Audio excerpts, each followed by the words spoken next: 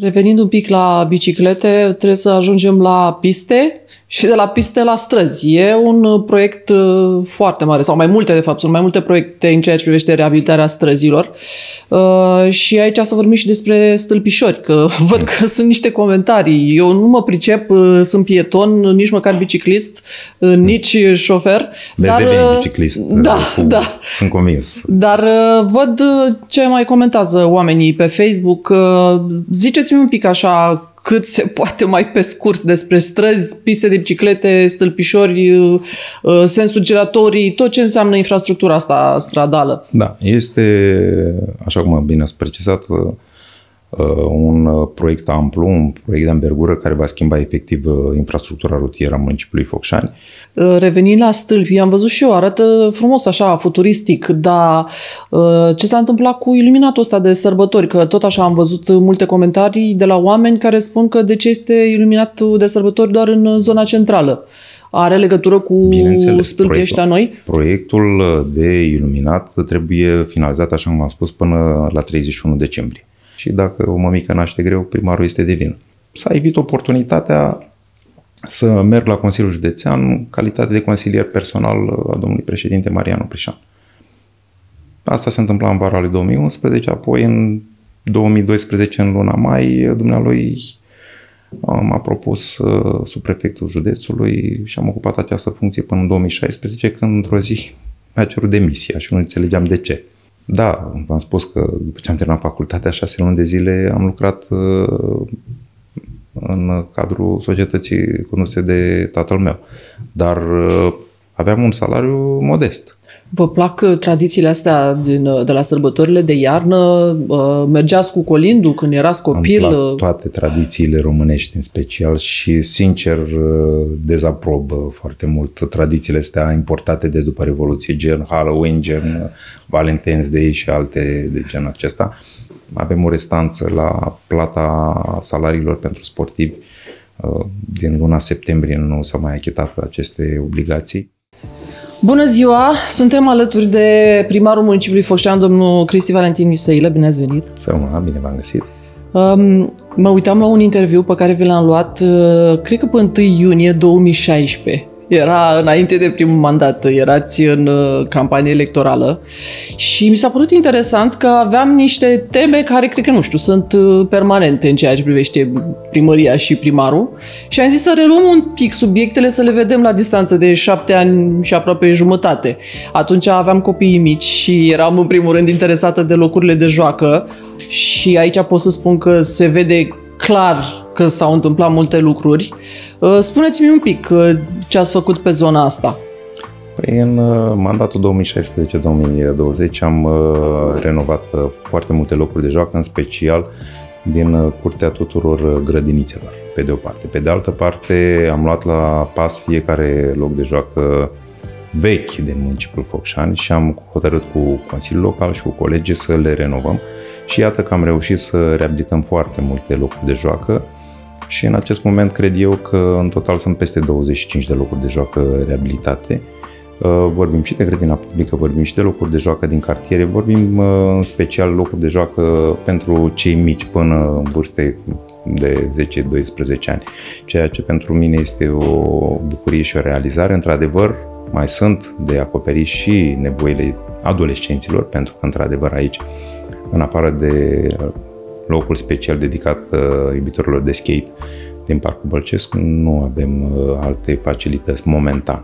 Dar uh, ne gândim în continuare să găsim soluții și pentru ei. Păi vorbeam cu fiica mea și spun, uite, mă duc, mă duc la podcast cu domnul primar. Zic, zi și mie, tu, ca un copil de 14-15 ani, ce ai vrea să-l întrebi și ce, ce ei spune. Și s-a stat, s-a gândit așa și zice, ă, aș vrea să-l întreb când vin bicicletele alea odată că vreau să merg cu bicicleta. Bicicletele trebuie să-i dau o veste bună și fetiței dumneavoastră și tuturor focșanelor. Sunt venite deja ah, în okay. municipiu. Ă, deja se va aproba regulamentul sau s-a aprobat, s-a aprobat regulamentul de ă, gestionarea acestora, vorbim de gestionarea serviciului de bike sharing. Uh, sunt uh, punctele instalate. Sperăm noi în scurt timp să scoatem la licitații uh, și serviciul de gestiune efectivă a acestui să spunem, nou serviciu uh-huh. în mhm. municipiul Focșani până acum nu a existat uh, posibilitatea de a închiria biciclete și de a utiliza pistele de biciclete și uh, începând cu luna martie să fie totul funcțional, astfel încât uh, focșanenii să se bucure și de această posibilitate de a merge cu un mijloc uh, de transport alternativ nepoluant.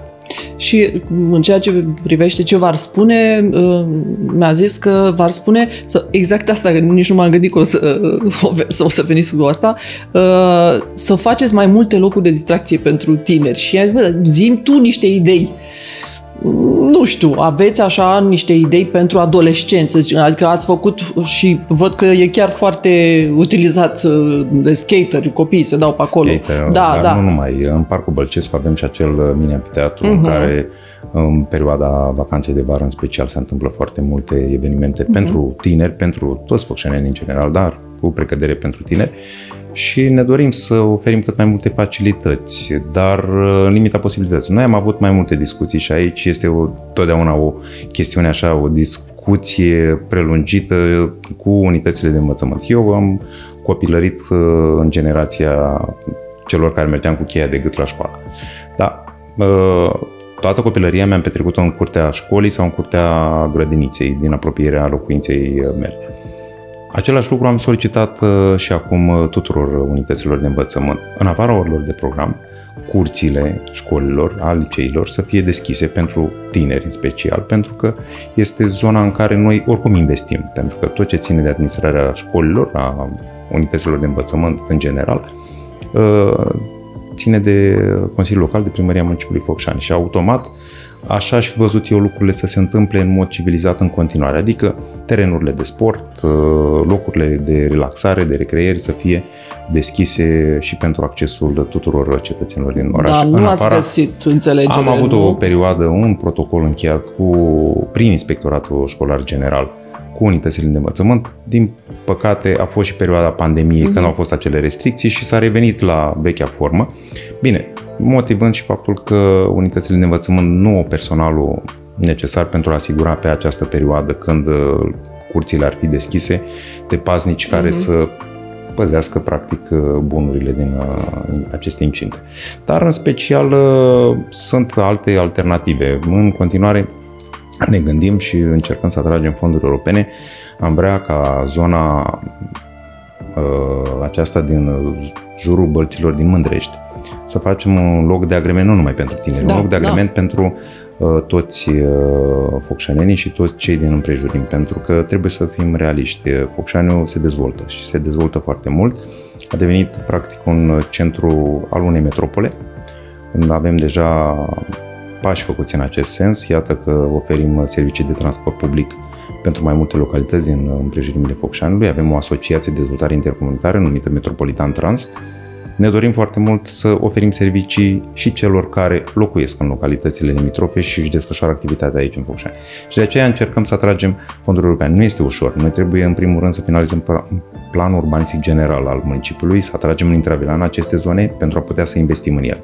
Pentru că este o condiție obligatorie prin pentru a atrage aceste fonduri europene, să avem terenul din intravilan. Mai avem o idee, la fel, o propunere venită din partea și a conducătorilor auto, și a școlilor de șoferi, și a tinerilor, să facem o zonă în care efectiv cei care parcurg pentru prima dată cursurile de a unor școli de șoferi să obțină permisul de conducere, să facem un poligon uh, separat în afara municipiului, uh-huh. unde să se facă inițierile, iar în afara programului să poată fi utilizat de tinerii care iubesc uh, uh, sportul motor în special și nu numai, să fie un fel de mix așa între necesitatea uh-huh. de a avea un poligon special pentru conducători auto începători, cât și pentru ceilalți care iubesc uh, sporturile cu motor. Dar uh, acestea sunt niște proiecte de viitor pentru care, din păcate, nu am găsit uh, oportunități de finanțare, iar bugetul municipiului Focșani nu este atât de generos încât să permită un asemenea proiect, pentru că e de anvergură. Revenind un pic la biciclete, trebuie să ajungem la piste și de la piste la străzi. E un uh, proiect uh, foarte mare, sau mai multe de fapt, sunt mai multe proiecte în ceea ce privește reabilitarea străzilor. Uh, și aici să vorbim și despre stâlpișori, că văd că sunt niște comentarii. Eu nu mă pricep, sunt pieton, nici măcar biciclist, nici șofer. Vezi dar, biciclist. Da, cu, da. Sunt convins. Dar văd ce mai comentează oamenii pe Facebook. Ziceți-mi un pic așa cât se poate mai pe scurt despre străzi, piste de biciclete, stâlpișori, uh, uh, sensuri giratorii, tot ce înseamnă infrastructura asta stradală. Da, este, așa cum bine ați precizat, uh, un proiect amplu, un proiect de învergură care va schimba efectiv infrastructura rutieră a municipiului Focșani. Un proiect finanțat din fonduri europene este ceea ce dorește de fapt Uniunea Europeană să facă în toată România, practic să descurajeze utilizarea mijloacelor de transport proprii pentru a, în scopul de a reduce poluarea în primul rând și de a spori utilizarea mijloacelor de transport nepoluante, în special biciclete și autobuze electrice. După cum uh, probabil ați văzut, în municipiu sunt foarte multe autobuze electrice deja în funcțiune, 36 de autobuze electrice am achiziționat prin două proiecte. Cât despre pistele de, de biciclete, pot să spun că sunt niște normative în vigoare destul de drastice, de aceea trebuie să facem în așa fel încât uh, conducătorii auto în special să înțeleagă ce înseamnă pista de biciclete, adică pista de biciclete trebuie să aibă o lățime de 2,10 m, iar de la pista de biciclete până la stâlpișori, mai există o zonă pentru care toată lumea m-a întrebat de ce a rămas. Este zona de protecție. Așa este prevăzut prin stas. În cazul în care, Doamne ferește, un biciclist pică, să nu cadă în fața unui autovehicul. Iar cealaltă bandă specială pentru mijloacele de transport în comun, și aici când vorbim de transport în comun, nu vorbim doar de autobuze, vorbim și de taximetre, vorbim și de mașinile de intervenții speciale, care vor putea utiliza această bandă. Așa este prevăzut în normativul care a stat la baza proiectării acestor uh, modificări ale infrastructurii rutiere. Vor fi și două sensuri unice mari despre care am uh, povestit și pe care bănuiesc că toată lumea le așteaptă. Vorbim aici de un sens unic uh, de la sud către nord, de la intersecția Angel Salini cu Bulevardul București, Bulevardul Unirii, către uh, Obor, către intersecția Independenței cu strada Mărășești și un uh, sens unic uh, invers de la uh, nord către sud, de la intersecția strada Mărășești cu Cuzavodă până la intersecția Bucești cu uh, strada 1 decembrie. Pe contrasensul uh, acestor benzi speciale, uh, acestor sensuri unice, să spunem, vor fi benzile speciale pentru mijloacele de transport în comun. Adică autobuzele nu vor avea un uh-huh. singur sens. Vor circula în ambele vor, sensuri. Vor circula uh-huh. în ambele sensuri.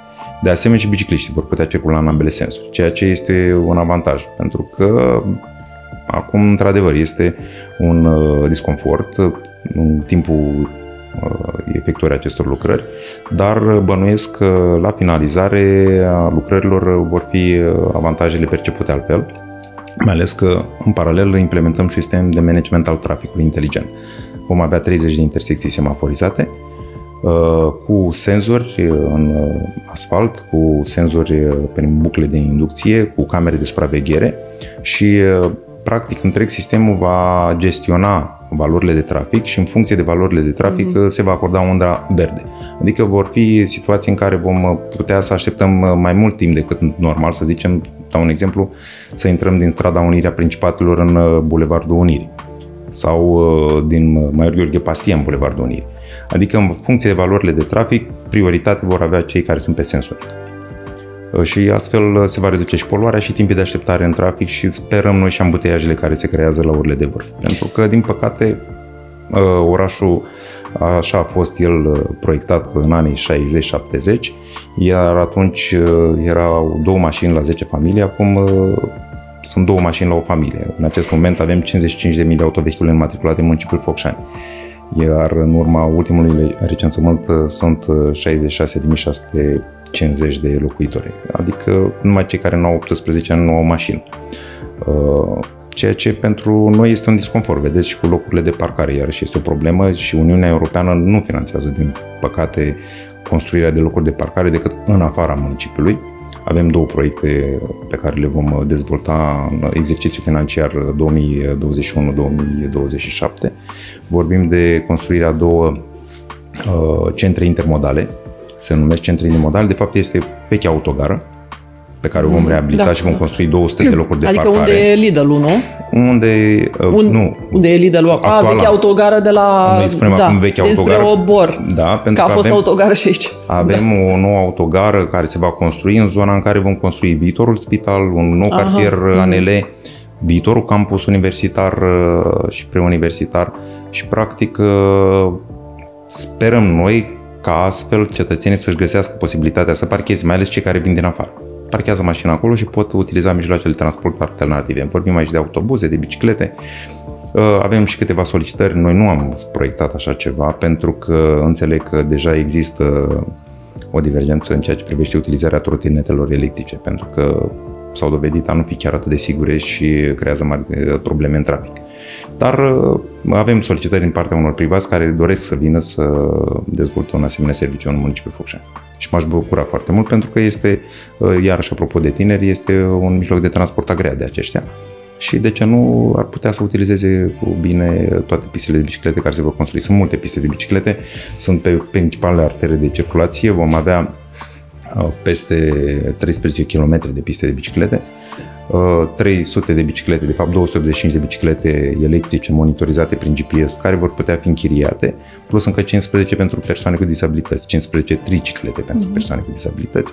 Eu cred că e un prim pas important către a utiliza mijloacele de transport uh, alternative nepoluante.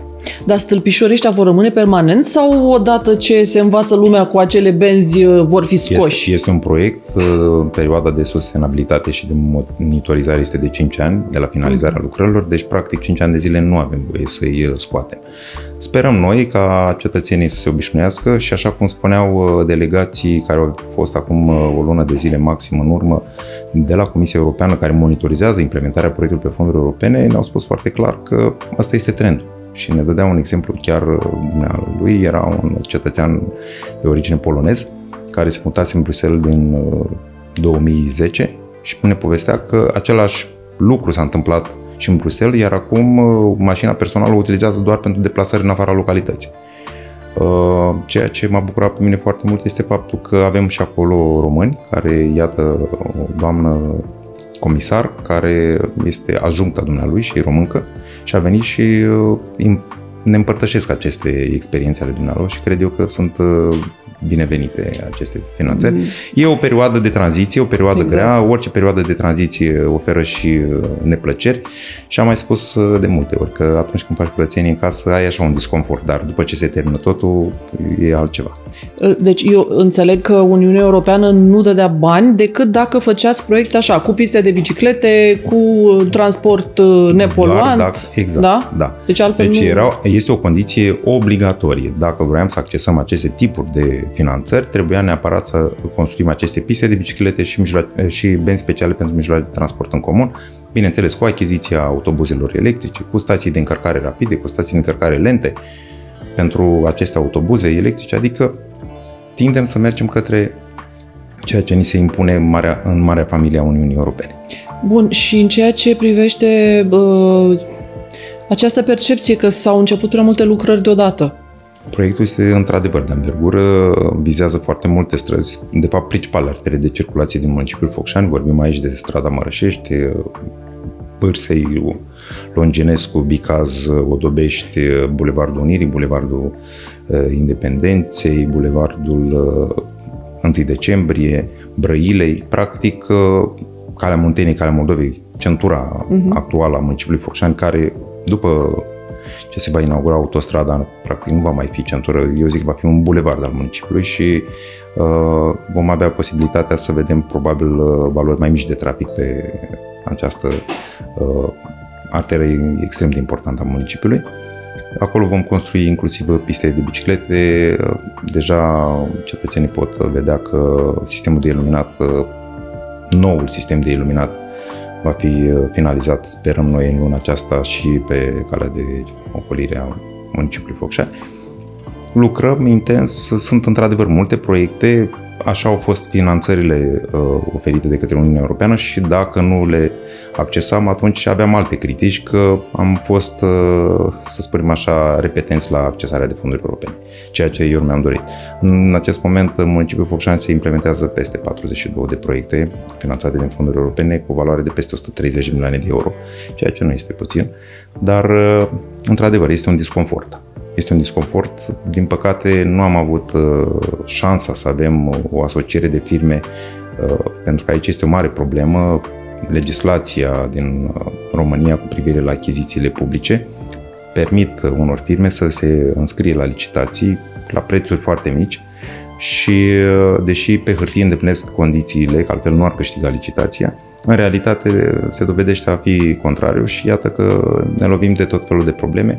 Avem o asociere de firme româno-bulgară care a câștigat această licitație la, uh, această, la acest mare proiect de resistematizare și s-ar părea că vecinii noștri din Bulgaria nu prea au înțeles bine mecanismele și legislația din România și ne-au creat mari uh, dificultăți și de aceea s-a ajuns la aceste întârzieri foarte mari, pentru că ei aveau practic un termen de finalizare 30 septembrie 2023 și iată că le-am prelungit până pe 15 decembrie, acum invocă condițiile meteo nefavorabile și iar suntem nevoie să le prelungim, bineînțeles cu sancțiunile de rigoare, dar uh, nu ne bucură să aplicăm sancțiuni, pe noi ne bucură să finalizăm proiectele, că asta este cel mai important și asta așteaptă toți cetățenii. Dar dincolo de prelungirea termenului de finalizare, în ceea ce privește calitatea lucrărilor, să știți că și aici avem o problemă, într-adevăr, avem uh, mari discuții cu dumnealor, le-am refuzat la plată foarte multe situații de lucrări, le-am uh,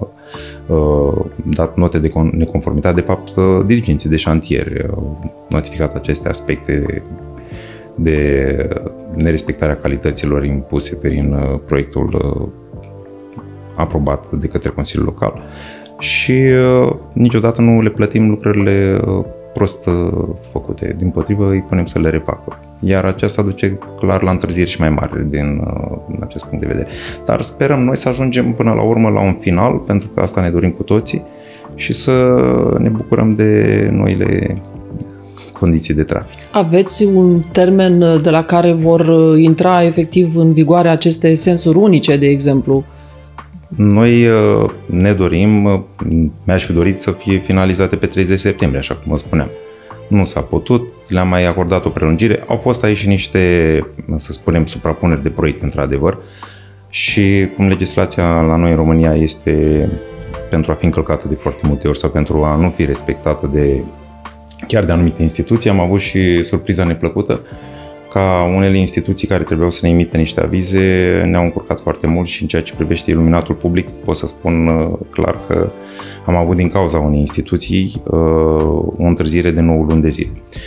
Iar lucrările la infrastructura de iluminat uh, sunt premergătoare lucrărilor pentru infrastructura rutieră și atunci s-a ajuns în situația în care Uh, întârzierea de la lucrările pentru noul sistem de iluminat au dus la întârzieri în masă succesive și pentru proiectul de resistematizare și de aici s-a ajuns la o întârziere și am fost obligați să le prelungim practic uh, perioada de implementare și iată că am ajuns uh, în această situație în care sperăm noi să, din care sperăm să ieșim. Deși, din păcate, nu este de dorit și știu foarte bine că focșanenii sunt nemulțumiți din acest punct de vedere, dar cerând eu încă o dată scuze în numele acestor constructori, e o situație total neplăcută, încercăm să o gestionăm cât putem de bine, dar în același timp este foarte dificil să lucrezi cu o firmă din Bulgaria care după trei luni de zile abia afla ce înseamnă un cont de trezorerie.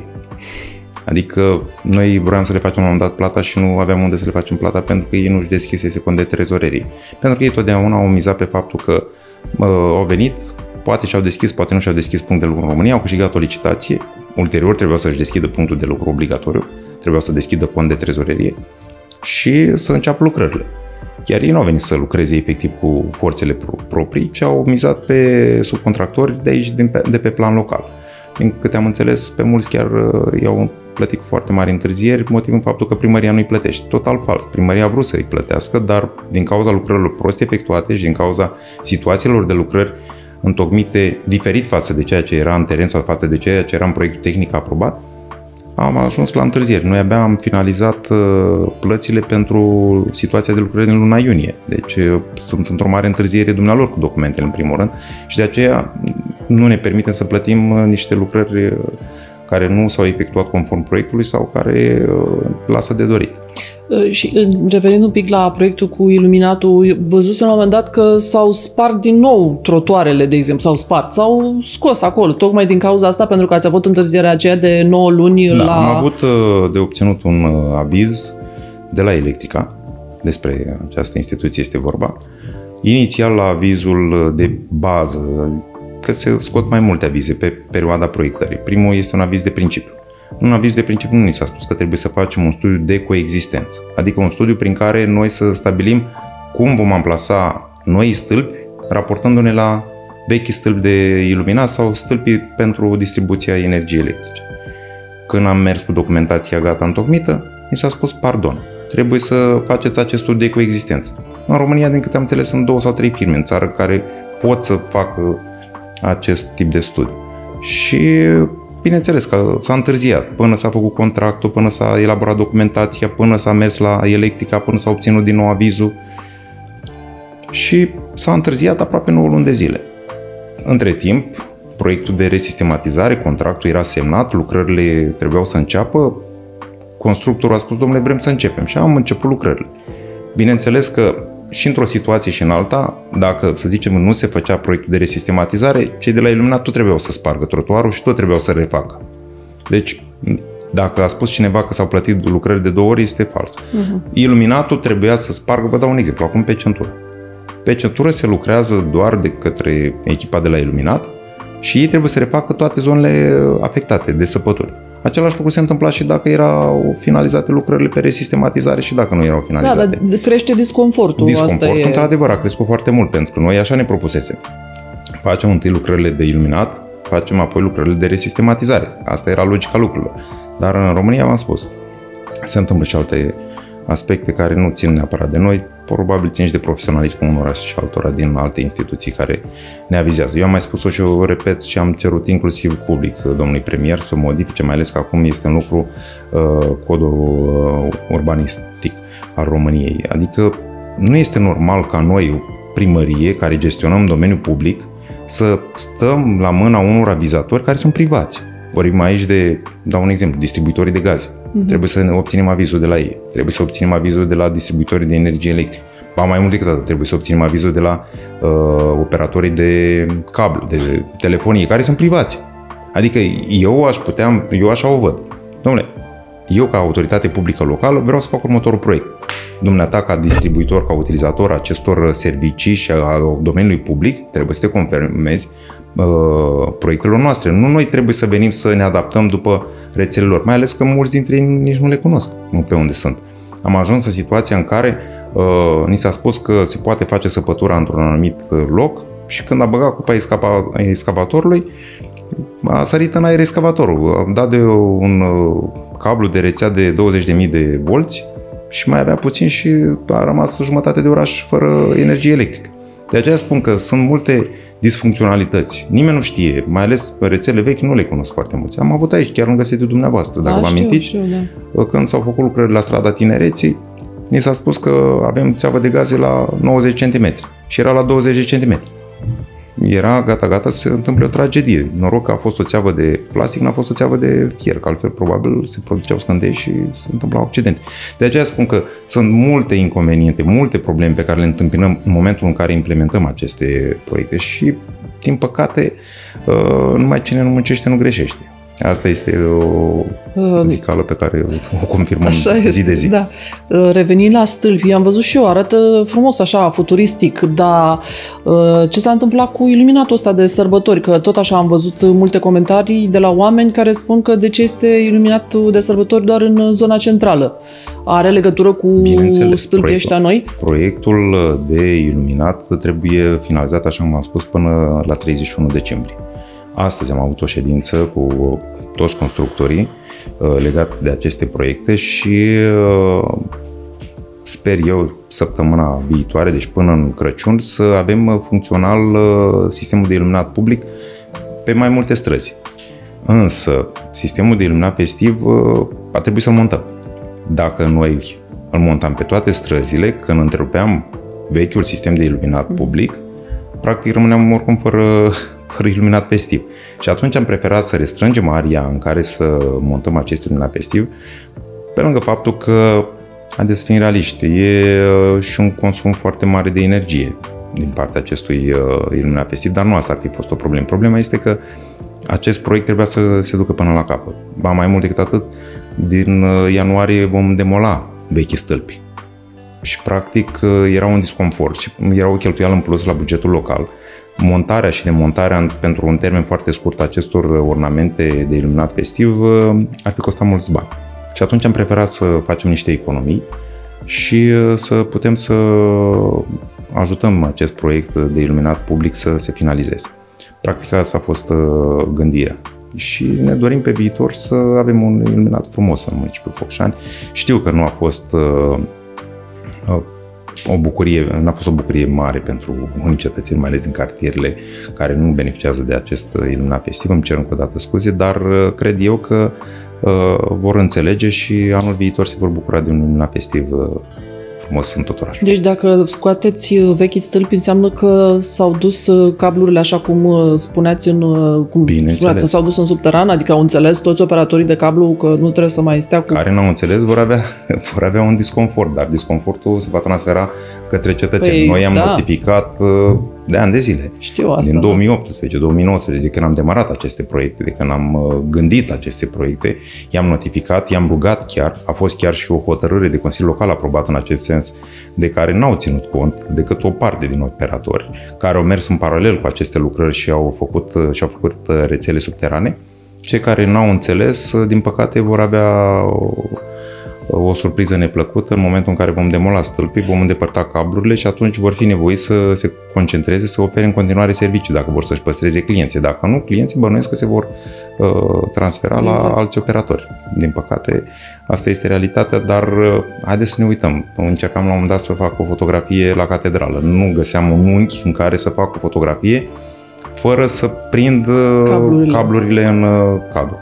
Din păcate, oamenii n-au înțeles sau operatorii, ba n-au buget, ba n-au înțeles că este o necesitate pentru că li s-a oferit totul gratuit și când oferi unui privat gratuit, din păcate primești un răspuns uh, din punctul meu de vedere nefavorabil.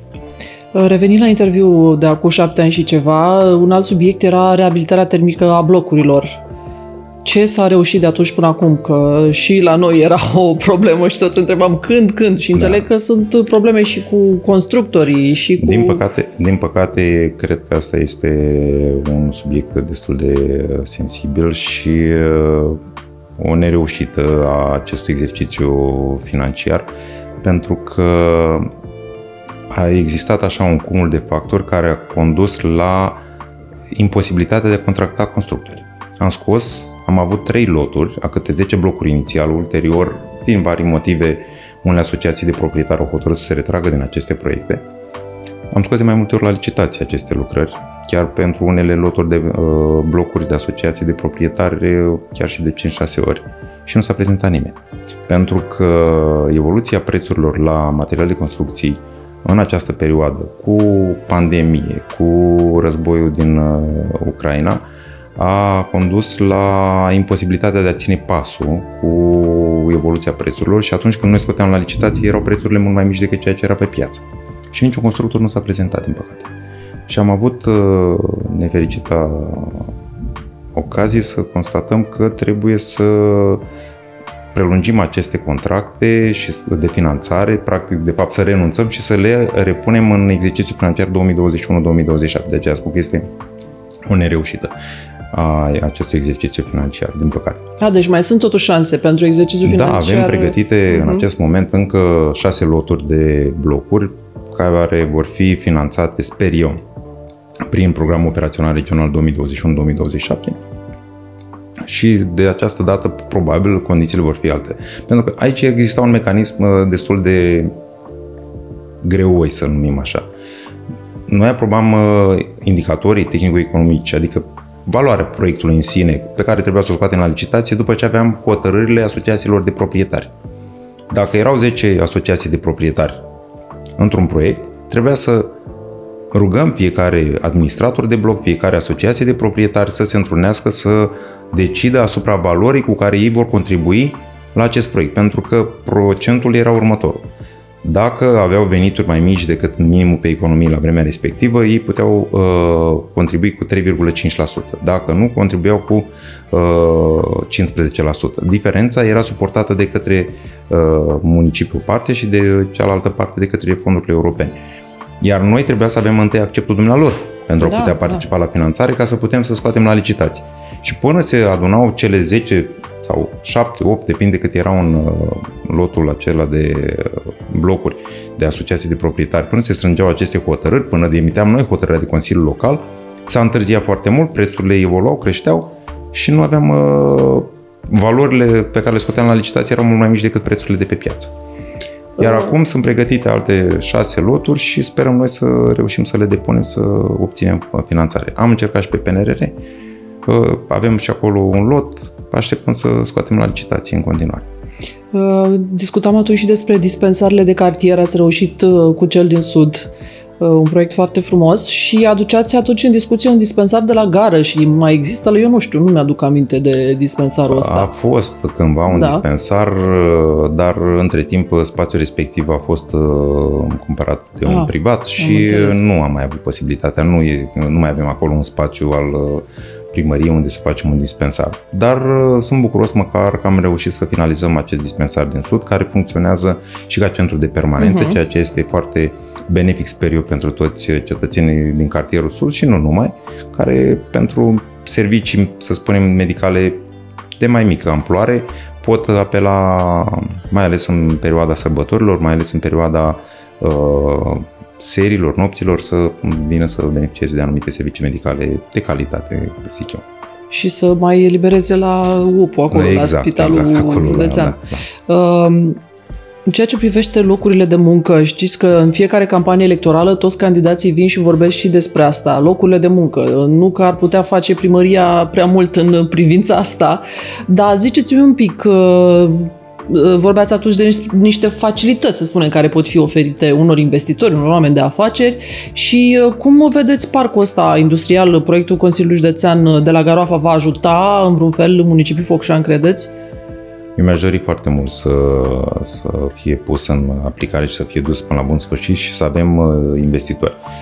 Eu spun un singur lucru. Noi n-am avut infrastructură rutieră care să atragă investitori. Adică fără o zonă în care dumnealor să poată să-și aducă sau să-și uh, transporte produsele, să-și aducă materiile prime, să-și uh, transfere uh, produsele executate într-un timp cât mai scurt și în siguranță și cu costuri cât mai mici, nu venea nimeni în, în zonă să se instaleze ca un mare producător. Și vă dau un exemplu. Galațiu a avut un parc industrial finalizat încă din 2016 și din câte știu nici în acest moment nu, nu au uh, investitori în acel parc pentru că lipsește efectiv infrastructura rutieră sau de altă natură, știu eu, un aeroport comercial, ceva în apropiere, care să le permită investitorilor să vină să, uh, să își dezvolte o afacere aici. Avem într-adevăr unii investitori care au venit, pe care i-am ajutat în limita posibilităților, în sensul că am încercat să realizăm practic infrastructura rutieră de care au nevoie.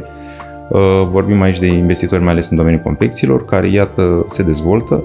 Mă bucur foarte mult. Noi ce am putut să oferim și pentru mine este o zic eu, o realizare importantă în aceste două mandate, faptul că putem să le oferim pe baza unei taxe de urgență, într-un timp foarte scurt, certificat de urbanism, autorizație de construire, mm. niște documente extrem de importante pentru care, din câte înțeleg, în alte orașe sau alte municipii, reședința de județ se așteaptă foarte multe luni. Iar noi putem oferi, dacă documentația este, bineînțeles, completă și conform legislației, să le acordăm certificat de urbanism în 5 zile și autorizație de construire în 7 zile, ceea ce este un lucru foarte important. Mai ales am reușit foarte mult să sprijinim uh, acele planuri urbanistice zonale, în sensul că documentațiile nu uh, erau uh, ținute foarte mult la dospit prin primărie. Avem Comisia de Organizare a Teritoriului și Urbanismului care funcționează Uh, foarte bine în cadrul primăriei municipiului Focșani uh, și ori de câte ori a fost o solicitare, chiar și o singură solicitare din partea unui dezvoltator, am uh, discutat-o, dacă a îndeplinit condițiile, am aprobat-o și astfel am facilitat și iată se poate vedea foarte bine că Focșani se dezvoltă și au apărut foarte multe cartiere noi. Tocmai în această privință am venit noi în a sprijini, să spunem așa, dezvoltatori. În rest, din punct de vedere al, al locurilor de muncă, într-adevăr, e un cumul de factori care ar trebui să ajute la crearea locurilor de muncă. Noi putem să acordăm niște facilități din punct de vedere al uh, unor uh, uh, utilități în special, a unor uh, a infrastructurii rutiere, dar uh, prea multe uh, posibilități nu avem efectiv. Da, parcul industrial de la Garoapa cred că ar fi binevenit, mai ales în contextul în care vom finaliza, se vor finaliza lucrările la autostradă. Atunci cred că da, vom avea mai mulți investitori interesați să vină aici în zonă. Uh, dacă tot am ajuns aici, în zona Consiliului Județean, cum vă înțelegeți cu domnul președinte Cătălin Toma? Că l-am întrebat și pe dumnealui și a răspuns că se înțelege bine cu dumneavoastră. avem o relație de colaborare instituțională foarte Uh, bună, benefică, pentru că la urma urmei noi ne dorim uh, să dezvoltăm uh, și Consiliul Județean are foarte multe proiecte în municipiul Focșani și municipiul Focșani depinde de foarte multe avize și autorizații din partea Consiliului Județean. Bineînțeles, și în Consiliul Local trebuie să avem cât de cât o înțelegere și un acord, pentru că dacă batem pasul pe loc și nu agriem că trebuie să dezvoltăm, pentru că împreună trebuie să ducem mai departe niște proiecte și să lăsăm ceva în urmă. Că eu am zis-o și mă repet de fiecare dată. Nu mi-am dorit niciodată să lucrez nici la primărie, nici la Consiliul Județean, nici la prefectură, nici în finanțe. Așa m-a dus viața. Și dacă am ajuns aici, am vrut și vreau în continuare să fac niște lucruri de care să nu fie rușine, în primul rând, și în al doilea rând, să pot să spun că da, a rămas ceva benefic în urma mea și cu ajutorul, bineînțeles, a Consiliului Local, a Consiliului Județean, putem face astfel de lucruri să, să meargă în beneficiu acestei societăți pentru care noi avem un respect deosebit și domnul președinte Cătălin Toma chiar este un om de administrație pentru că da, a fost și dumnealui primar, a fost și parlamentar și iată acum uh, președinte Consiliului Județean și înțelege foarte bine toate mecanismele. Bine, timp de 2 ani și ceva v-a fost greu tare în cele, adică... A fost greu, dar uh, probabil uh, a fost ca o reacție, să spunem așa, a unei alte Uh, să spunem, asocieri mai puțin benefice pentru municipiul Focșani cu cineva care cândva a fost uh, ministru din municipiul Focșani și n-a înțeles decât uh, faptul că trebuie să stopeze, nu să ajute la dezvoltarea anumitor proiecte din municipiu.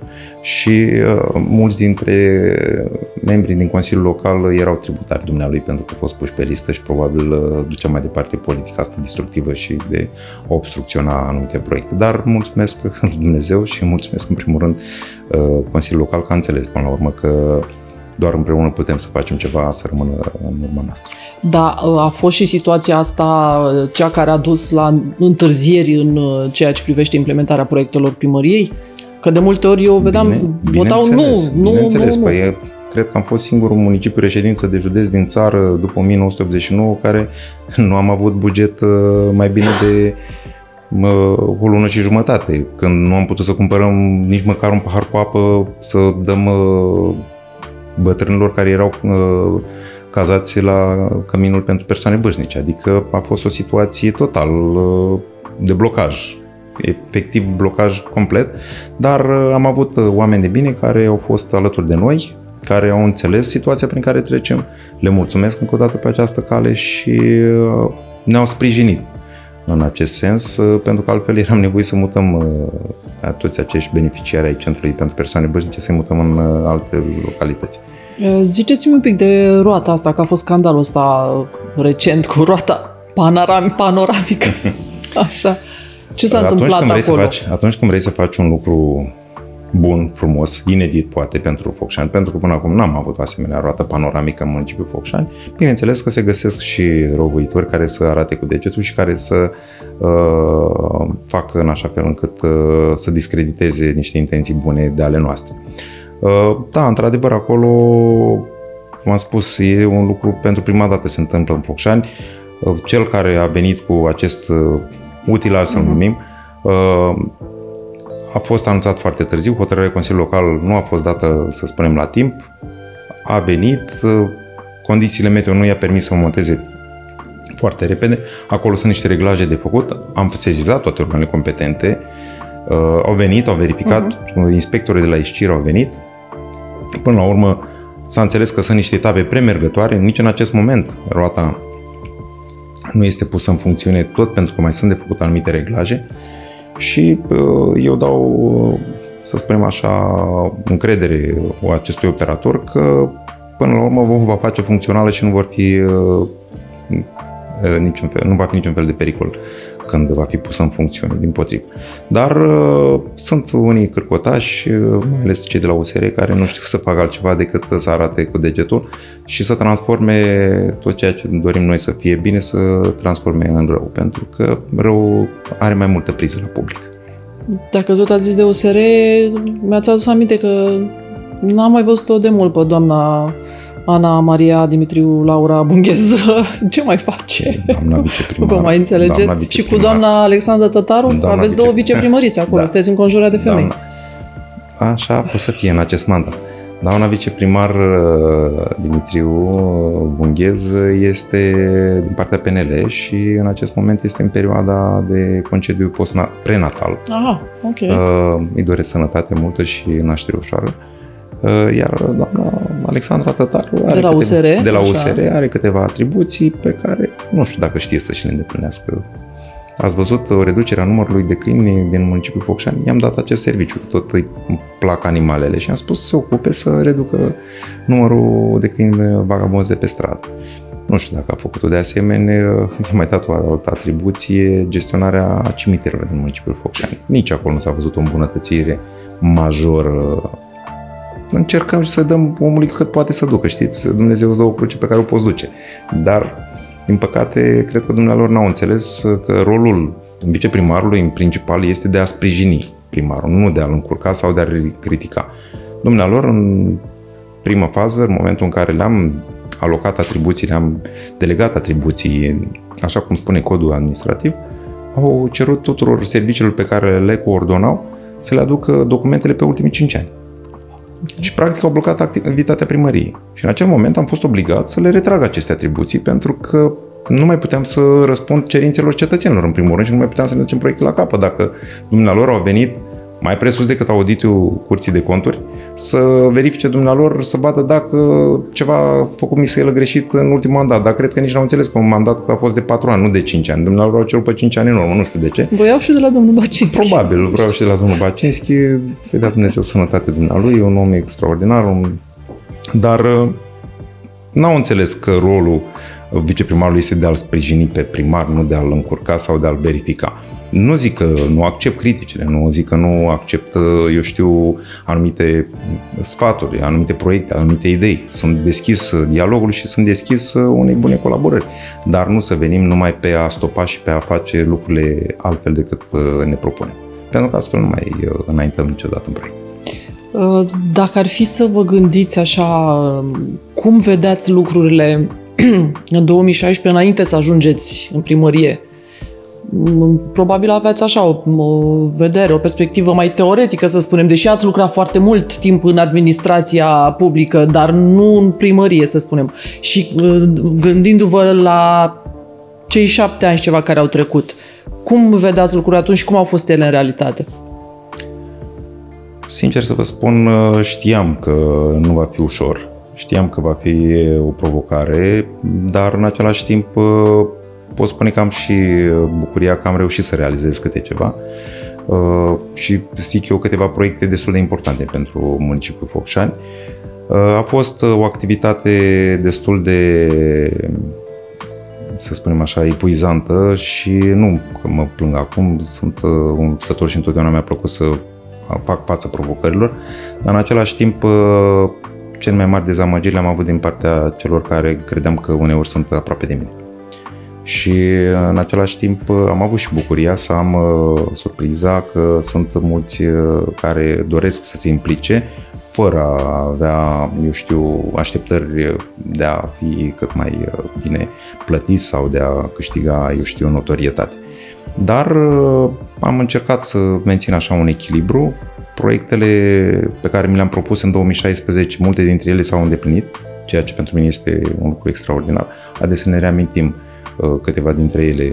Parcul Bălcescu, în primul uh-huh, rând, uh-huh. Da? Uh, Piațeta Teatru, Piațeta Balada, uh, unitățile de învățământ pe care le-am reabilitat, foarte multe unități de învățământ, locurile de joacă, chiar și grădina publică a trecut printr-un proces de transformare. Sunt multe proiecte pe care aș vrea să le uh, menționez, multe străzi, erau foarte multe străzi de pământ pe care, iată, în acest moment uh, circulăm pe asfalt. Uh, am avut și sprijinul, să spunem așa, acestor finanțări care au venit din partea Guvernului și din partea Uniunii Europene, dar și faptul că am modificat foarte mult uh, organigrama și aparatul de specialitate al primăriei. Imaginați-vă că noi, la nivelul municipiului Focșani, avem un număr limitat de posturi. Când am venit în primărie, am făcut o analiză și m-a surprins numărul foarte mare de angajați contractuali fără studii superioare ceea ce uh, îngreuna foarte mult implementarea acestor proiecte pe fonduri europene. La proiecte pe fonduri europene, la serviciu, proiecte pe fonduri europene, aveam patru angajați la investiții 5, ceea ce mi s-a părut foarte puțin raportat la oportunitățile de finanțare care urmau să apară în uh, acest exercițiu. Și atunci am luat niște decizii, unele nu prea bucuroase pentru câțiva angajați, nu puțin. Păi aveam uh, uh, 5 portari, uh, am externalizat serviciul de pază, aveam uh, 8 uh, doamne care făceau curățenie în primărie, angajate, la fel am externalizat serviciul de curățenie, iar la direcția de dezvoltare aveam 82 de măturători stradali care ocupau efectiv din numărul maxim de posturi pe care le puteam uh, noi utiliza pentru a dezvolta aceste proiecte.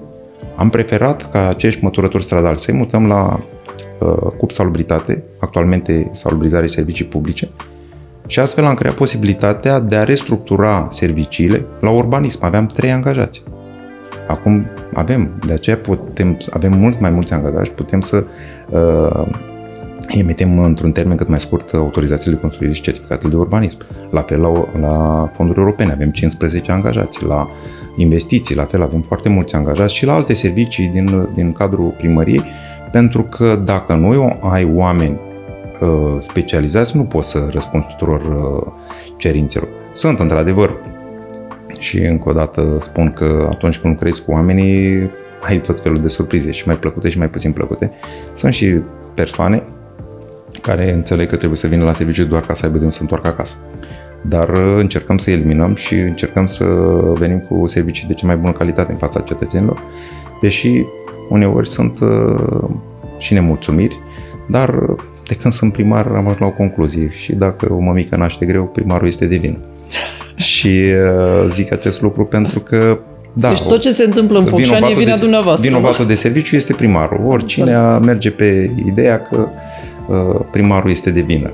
Da, într-adevăr, o parte poate o avem și noi ca primari, că nu sunt singuri din țară, dar în același timp trebuie să ne gândim și la faptul că nu depinde numai de noi uh, tot ceea ce se întâmplă în uh, jurul nostru și ar trebui să înțelegem că fiecare dintre noi avem și obligații, avem și drepturi, avem și obligații. Și dacă am înțelege acest aspect, cred că ar fi mult mai ușor pentru mulți dintre noi. Veți, veți candida din nou? Eu zic că da, nu pot acum să mă pronunț, pentru că dacă mă întreba cineva în februarie 2016 dacă voi candida la primăria municipiului Focșani, când eram subprefect, spuneam că nu, nu mi-am dorit. Adică nu a fost o chestiune care să uh, mi-o impun. A venit de la sine. Așa au fost uh, Păi lucrurile. cum s-a întâmplat atunci? Păi simplu, domnul Bacinski nu mai dorea să candideze, să candideze. Domnul președinte Marianu Prișan la vremea respectivă, președintele Partidului Social Democrat Vrancea, căuta un candidat și avea mai multe alternative, a făcut un sondaj și și-a dat seama că eu aș fi cel care aș avea cel mai mari șanse să câștig alegerile. Cu sprijinul dumnealui, cu sprijinul PSD-ului, a reușit uh, să obțin primul mandat 2016-2020 și zic eu că n-am dezamăgit foarte mult dacă cetățenii m-au votat și la al doilea mandat. Și îmi doresc în continuare să continui aceste proiecte. Bine, proiectele pot fi continuate din mai multe perspective sau din mai multe poziții, să spunem așa, și de primar, și de președinte al Consiliului Județean, și de parlamentar, adică există mai multe variante. Și așa cum s-a întâmplat în 2016, e posibil să întâmple și în 2024. Mai e un an aproape până la alegerile locale, eu, în primul rând, îmi doresc să-mi duc proiectele la capăt și apoi vom decide împreună cu organizația județeană, cu domnul prim-ministru, domnul președinte al Partidului Social-Democrat, domnul Marcel Ciolacu, care va fi viitorul candidat la municipiu, bineînțeles, în funcție și de sondaje, pentru că deci se fac aceste sondaje, da? Sau urmează PSD să fie este un partid făcute. serios și un partid care nu merge la, uh, să spunem așa, la ghici. Mm-hmm, Întotdeauna mm-hmm. lansează, așa cum s-a întâmplat și în 2016, lansează pe cel care are cel mai mult șanse să câștige. Așa ne-am uh, creat această strategie și așa vom merge până la capăt, sper eu. Dacă vor fi alte interese, eu am spus, nu am ținut morțiș nici să lucrez în prefectură, nici în Consiliul Județean. Singurul loc în care mi-am dorit și în care cred că întotdeauna voi dori să lucrez este finanțele publice. Pentru că acolo asta este specializarea mea, uh-huh, în mhm, primul uh-huh. rând. Uh, am terminat facultatea de finanțe, uh, științe economice, uh, specializarea bănci, burse de valori, de fapt. Dar la așa, Iași. La Iași, uh-huh. da, așa a fost conjunctura. La momentul respectiv, după ce am terminat facultatea, am mers șase luni, am lucrat în firma părinților mei. Ulterior, am dat un examen și m-am angajat uh, la finanțe. Și la finanțe ați alternat între garda financiară și administrația da, finanțelor publice? inițial am fost nu? Uh, la control fiscal, uh-huh. fostul ITPS, apoi uh, a fost o perioadă scurtă, 99, noiembrie 99 până în 2001, decembrie 2001, conducerea de la acea vreme a decis că ar trebui să mă avanseze la un uh, birou foarte important, spun eu, la vremea respectivă și nu numai și acum. Era birou care gestiona tot ce înseamnă produse accizabile, jocuri de noroc și case de marcat. Și din 2001 până în 2007 am fost șeful acestui birou, apoi uh, s-a scos la concurs uh, câteva posturi la garda financiară, m-am dus la garda financiară, iar în 2009 Uh, am fost propus director ajunct al uh, finanțelor publice. Tot uh, printr-o conjunctură, că atunci era o chestiune politică, cu un contract de management, un fel de struțocămilă între funcționar public și politician, ceea ce mie nu prea mi-a plăcut la vremea respectivă, dar zic eu că ne-am făcut datoria și atunci eram în echipă cu domnul director Marian Lungu, dumnealui era director general și eram, uh, din punct de vedere al indicatorilor care ni se transmiteau de la București, eram locul întâi pe țară. Și cu toate acestea, când uh, s-a făcut declicul între acea asociere, acea coaliție de guvernare PDL-PSD la vremea respectivă, noi cei de la PSD să fim uh, trimiși înapoi la locurile noastre de muncă. Și atunci am revenit la garda financiară. Și apoi a venit uh, momentul când s-a făcut o restructurare a gărzii financiare. Cea mai mare restructurare din România a fost la garda financiară Vrancea, pentru că noi am deranjat probabil anumite zone de interes, spunem noi și politic și de mediu de afaceri. Și am avut uh, neplăcerea ca 11 posturi să fie desfințate la garda financiară Vrancea în 2011. Și atunci s-a evit oportunitatea să merg la Consiliul Județean în calitate de consilier personal a domnului președinte Marianu Prișan. Asta se întâmpla în vara lui 2011, apoi în 2012, în luna mai, dumnealui m-a propus uh, subprefectul județului și am ocupat această funcție până în 2016, când într-o zi mi-a cerut demisia și nu înțelegeam de ce. A, așa s-a întâmplat, v-a cerut prima dată demisia, a vrut să vă facă o surpriză. Da, mi-a cerut demisia și uh, nu înțelegeam ce s-a întâmplat. Atunci mi-a spus, păi, vei candida la primăria municipiului Focșani.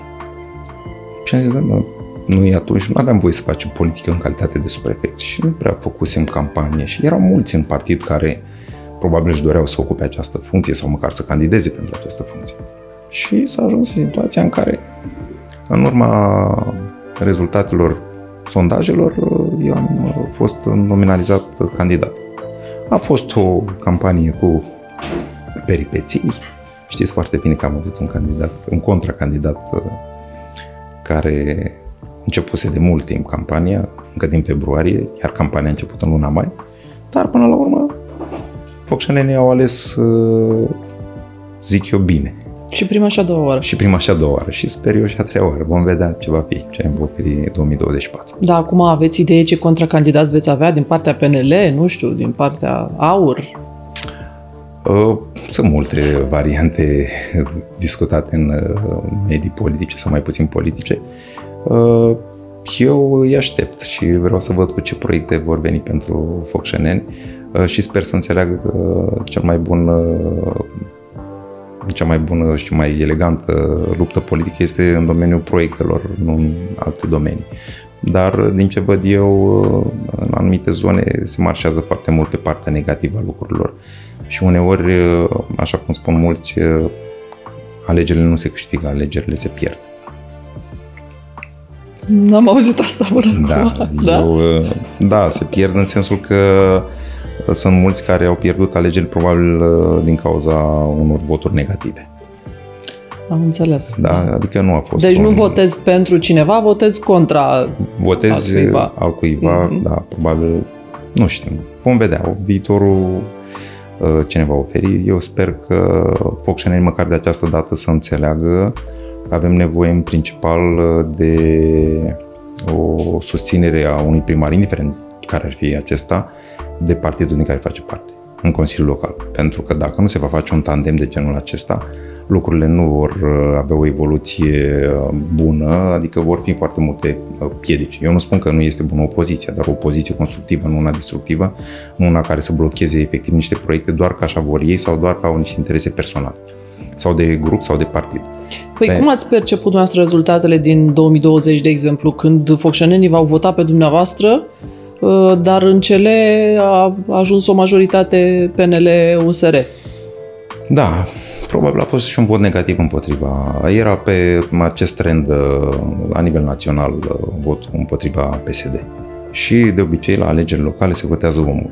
Nu se votează exact. partidul exact. din care uh-huh. provine candidatul respectiv și de aceea probabil s-a ajuns la această conjunctură mai puțin favorabilă în primii doi ani de mandat. Adică să avem uh, o majoritate din partea opoziției, din partea celorlalte partide față de partidul din care proveneam.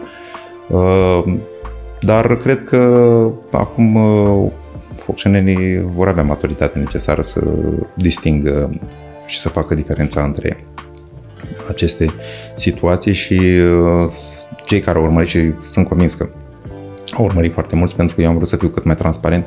Toate ședințe, ședințele de Consiliul Local au fost transmise live, uh, toată lumea a avut acces și s-a văzut foarte clar și atitudinea celor care, chiar dacă, să spunem, le reprezentau interesele, de fapt își reprezentau anumite interese și nu vreau să comentez mai mult. Adică atunci când oamenii merg să voteze pentru ale- la alegerile locale, trebuie să înțeleagă că un primar are nevoie de Consiliul Local, nu? Asta ar fi Absolut. ideea. Iar din punctul meu de vedere, iarăși este o eroare, să spunem, dacă nu o, o eroare, să numim așa, a legislației actuale. În în alte state civilizate s-a demonstrat că există o practică și o legislație care permite primarului să-și aleagă viceprimari, în primul rând. Uh-huh. Ceea ce la noi nu se întâmplă. Viceprimarii sunt desemnați de Consiliul Local. Ori dacă în Consiliul Local ai o majoritate de o altă culoare politică decât cea a primarului, există această situație și această variantă care, iată, am trăit-o în acest mandat, să avem uh, viceprimari din partea altor partide nu spun că nu ar fi bine, dar uh, ar trebui ca viceprimarul respectiv să și înțeleagă rolul și să colaboreze cu primarul, nu să obstrucționeze activitatea primarului.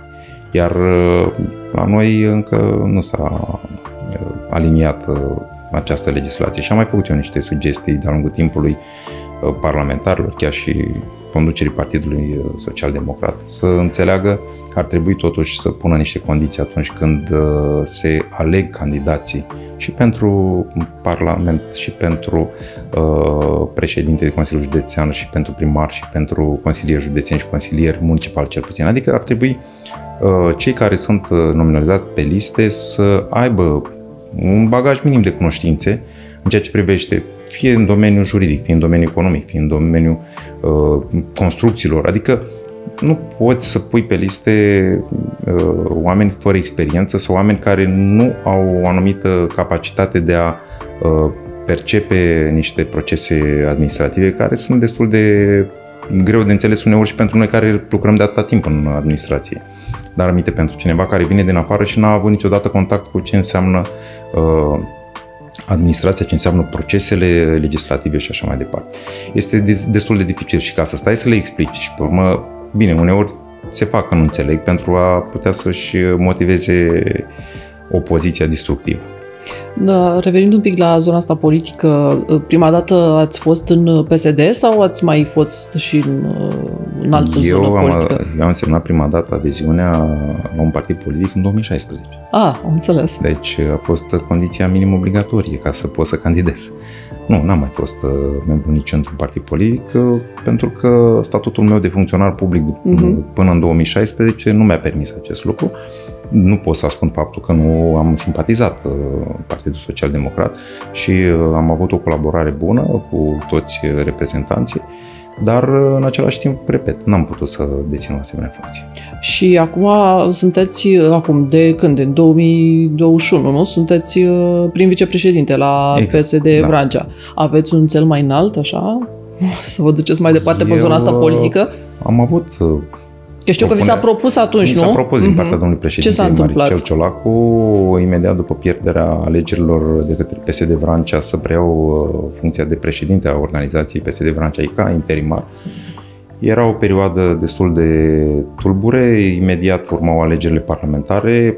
Noi aveam un președinte, Marianu Plișan, pe care îl recunoștea toată lumea uh, când spuneai Vrancea, spuneai Marianu Plișan, ceea ce era greu să vii așa din umbra unui colos să preiei frâile unui partid, mai ales în perioada în care urmau imediat niște alegeri parlamentare și uh, nu au fost uh, ușoare și s-a dovedit că nu am avut uh, un rezultat extraordinar, așa cum noi eram obișnuiți în Brancea și sincer, nu mi-am dorit niciodată să iau cu japca, să iau postul cuiva. Eu mi-am dorit dacă se va ajunge la niște alegeri democratice și dacă partidul va dori, atunci, da, voi uh, uh, spune da cu plăcere unei asemenea provocări. Dar până atunci, repet, uh, în primul rând, uh, întotdeauna așa am fost eu educat de părinții mei. Am avut uh, un respect deosebit pentru cei care, la un moment dat în viață, mi-au acordat o șansă.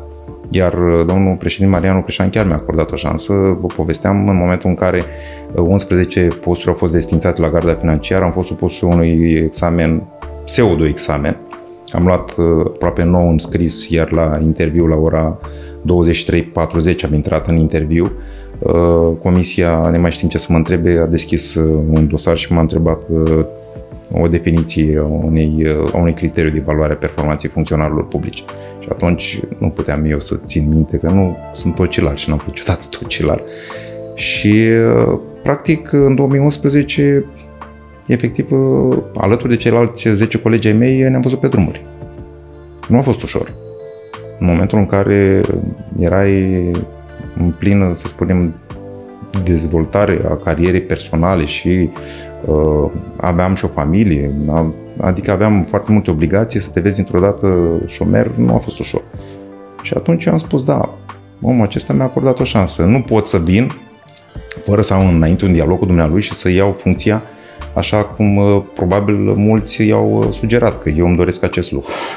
Și nu a fost uh, ușor, dar în același timp probabil au înțeles mulți că eu îmi doresc să-mi fac datoria și cam atât. Dar la PSD Focșani, de, de, de ce nu au fost alegeri? Nu s-a organizat încă conferința pe organizația municipiului. Urmează să se organizeze în perioada următoare.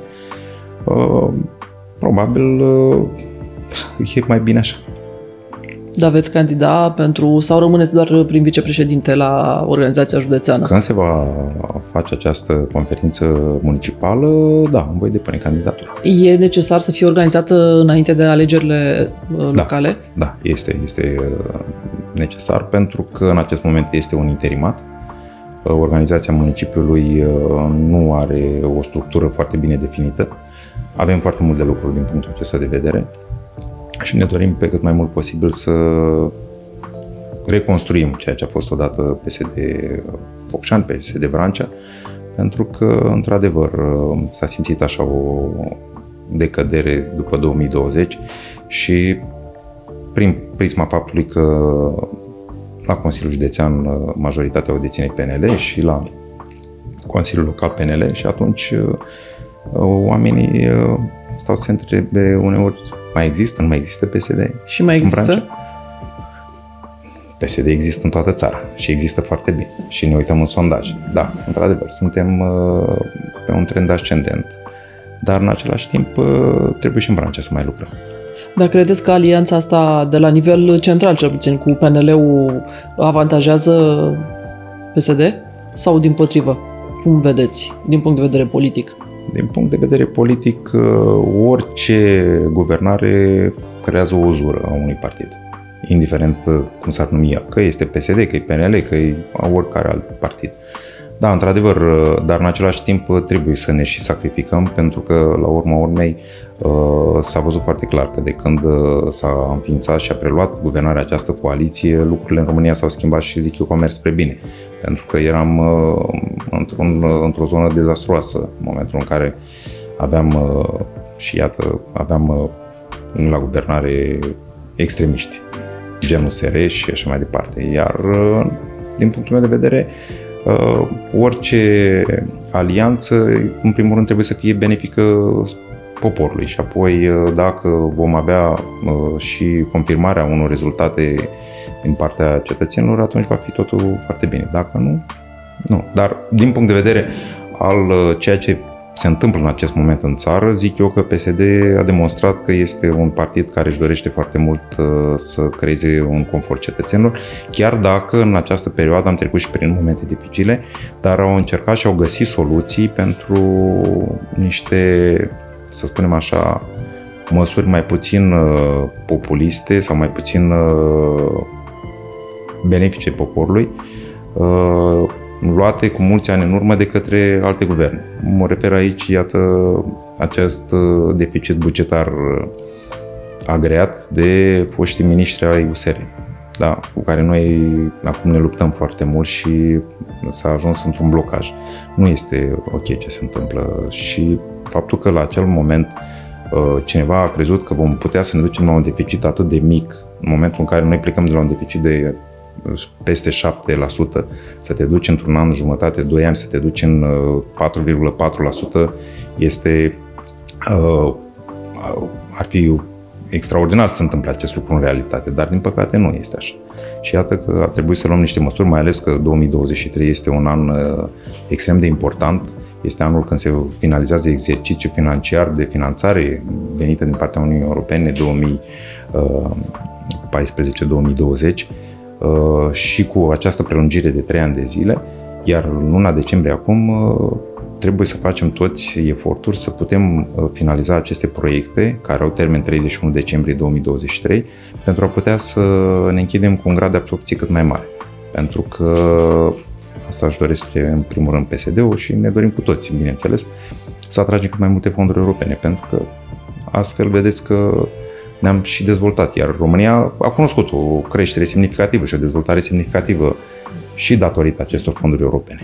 Uh, cu domnul prefect Halici, care e și președintele PSD Vrancea, ați uh, colaborat încă de când erați subprefect. Lui era, a fost o perioadă atunci uh, prefect. Da. da și eu... acum e din nou. Cum e colaborarea cu dumnealui și în cadrul PSD și instituțional, așa, între primărie da. și prefectură? Suntem împreună, am fost și în 2014-2016 uh-huh Dumnealui a fost uh, prefect, eu am fost uh, subprefect uh, și în această perioadă, dumnealui prefect, avem o colaborare instituțională bună, nu avem motive să ne punem piedici unul celuilalt și împreună sperăm să facem o echipă până la capăt. Vreau să intrăm un pic și să trag un pic microfonul, să intrăm un pic și în zona asta personală. Sunteți căsătorit, aveți două fete. Eu am cunoscut-o personal pe Maria, știți, când da. Și fică mea mă întreabă, ce mai face Maria? Păi, crește ca și tine, da. ce crezi că face? Cum da. Uh, sunteți ca părinte? Aveți timp să mai stați cu ele? Din, din nefericire, aici este o mare problemă, pentru că această activitate mi ocupă foarte, foarte mult timp. Cred că nu ofer suficient cât mi-aș fi dorit fetițelor mele, dar țin legătura cu ele îndeaproape și mă bucur pentru orice activitate pe care ele o desfășoare și orice rezultat pe care ele mi-l, mi prezintă. Și mă bucur foarte mult. Și sunt într-o permanentă comunicare așa cu ele, pentru că, într-adevăr, sunt adolescente deja.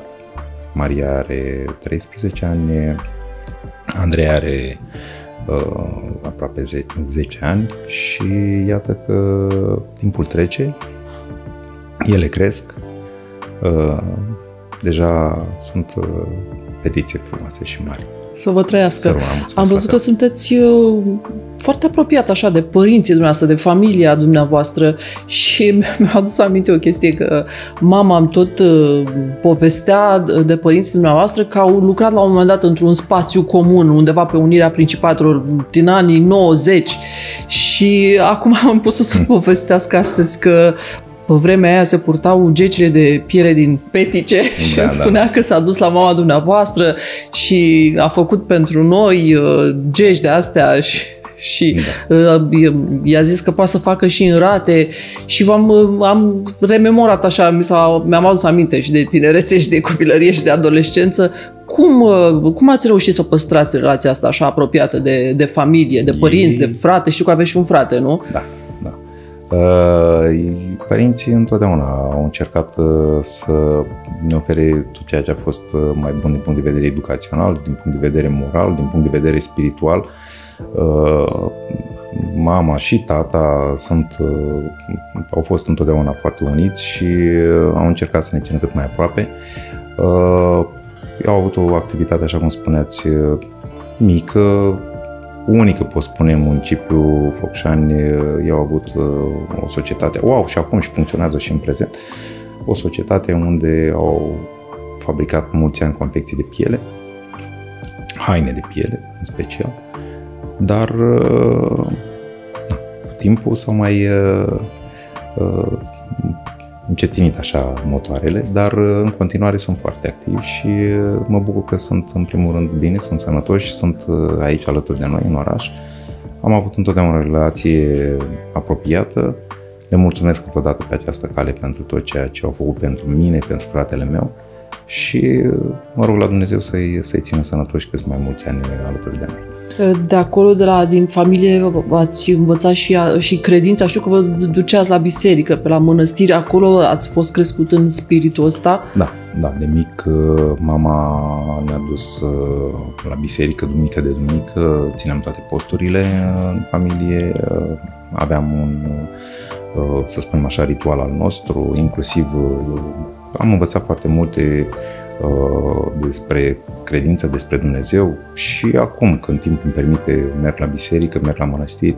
Uh, comuniunea cu Dumnezeu nu trebuie să ne lipsească niciodată din viață. Eu așa am perceput și am simțit întotdeauna un ajutor clar din partea divinității în perioade destul de dificile din viață și am simțit întotdeauna ajutorul meu din partea rugăciunilor făcute de mama Da? Da. Și uh, îi mulțumesc încă o dată pe această cale. Am avut întotdeauna așa un respect deosebit pentru ce înseamnă biserică, pentru tot ce înseamnă uh, credință, chiar dacă nu toți percep la fel lucrurile, eu am uh, avut această educație și bunicii au fost foarte, foarte credincioși, cel puțin bunicii paterni uh, erau perit vechi și țin minte că în perioadele de post, iată cum suntem acum în postul Crăciunului, uh, schimbau întreaga veselă. Ah. Da, da adică ca să nu se atingă. Să nu se da, atingă. Da, da, da, da, erau, da, da. Dacă era în calendar, scria că nu se mănâncă ulei, nu se mănâncă, uh, nu se bea vin, nu se, uh, adică totul era respectat în litera și spiritul cărții sfinte. Și așa am fost educați, așa am fost crescuți.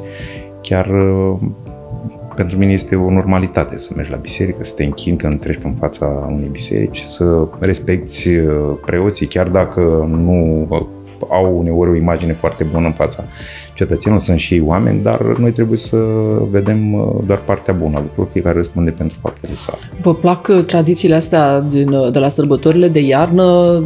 Mergeați cu colindu când erați copil? Îmi plac toate tradițiile românești în special și sincer dezaprob foarte mult tradițiile astea importate de după Revoluție, gen Halloween, gen Valentine's Day și alte de genul acesta nu m-am putut obișnui cu ele.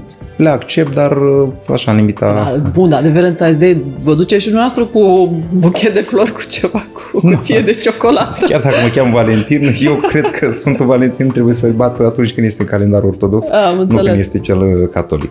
Uh, da, ce să spun, uh, tradițiile românești sunt uh, feblețea mea, întotdeauna am apreciat foarte mult, mai ales sărbătorile de iarnă uh, și cele pascale, la fel, și noi avem o tradiție în familie, încercăm de fiecare dată de sărbători să ne reunim. Uh-huh. Fratele meu este, din păcate, plecat de foarte mult timp din țară, încă din anii 2000, este în Italia, acolo și-a întemeiat o familie. Uh, și când are posibilitatea, vine acasă, fie de Crăciun, fie de Paști, ne întâlnim și suntem împreună. Familie. Aveți așa niște uh, mâncăruri tradiționale specifice hmm. pentru familia noastră? Da. Dincolo de sarmale, tobă, uh, nu știu ce. Ce să spun, în primul și în primul rând... Participați la preparare? Particip, nu că particip, mă implic în mod uh, activ și îmi place foarte mult acest lucru și uh, în general așa când am momente și vreau să mă relaxez, chiar intru și eu prepar foarte multe mâncăruri în bucătărie și în principal, mai ales în perioada asta sărbătorilor de iarnă, la noi întotdeauna Ignatul este între Crăciun și Revelion.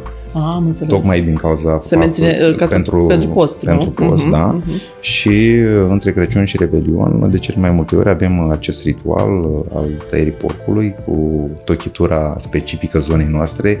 Părinții mei ambii sunt din Comuna Mobilița uh-huh. și acolo e o tradiție așa aparte în momentul în care se face acea pomană a porcului, să spunem, și particip cu mare plăcere și chiar chiar fac acasă preparate specifice și nu numai de în perioada aceasta, în cursul anului, ori de câte ori este un prilej, pot să fac față cu brio unor asemenea provocări și îmi place foarte mult. Îmi place foarte mult. Vă relaxează, bănuiesc, totuși, sigur. după tot stresul ăsta, sigur, că sigur. sunteți mai ales, de vină pentru mai ales, tot. Uh, mai ales când uh, am uh, și prieteni care degustă din bucatele preparate de mine și mă bucur că le plac.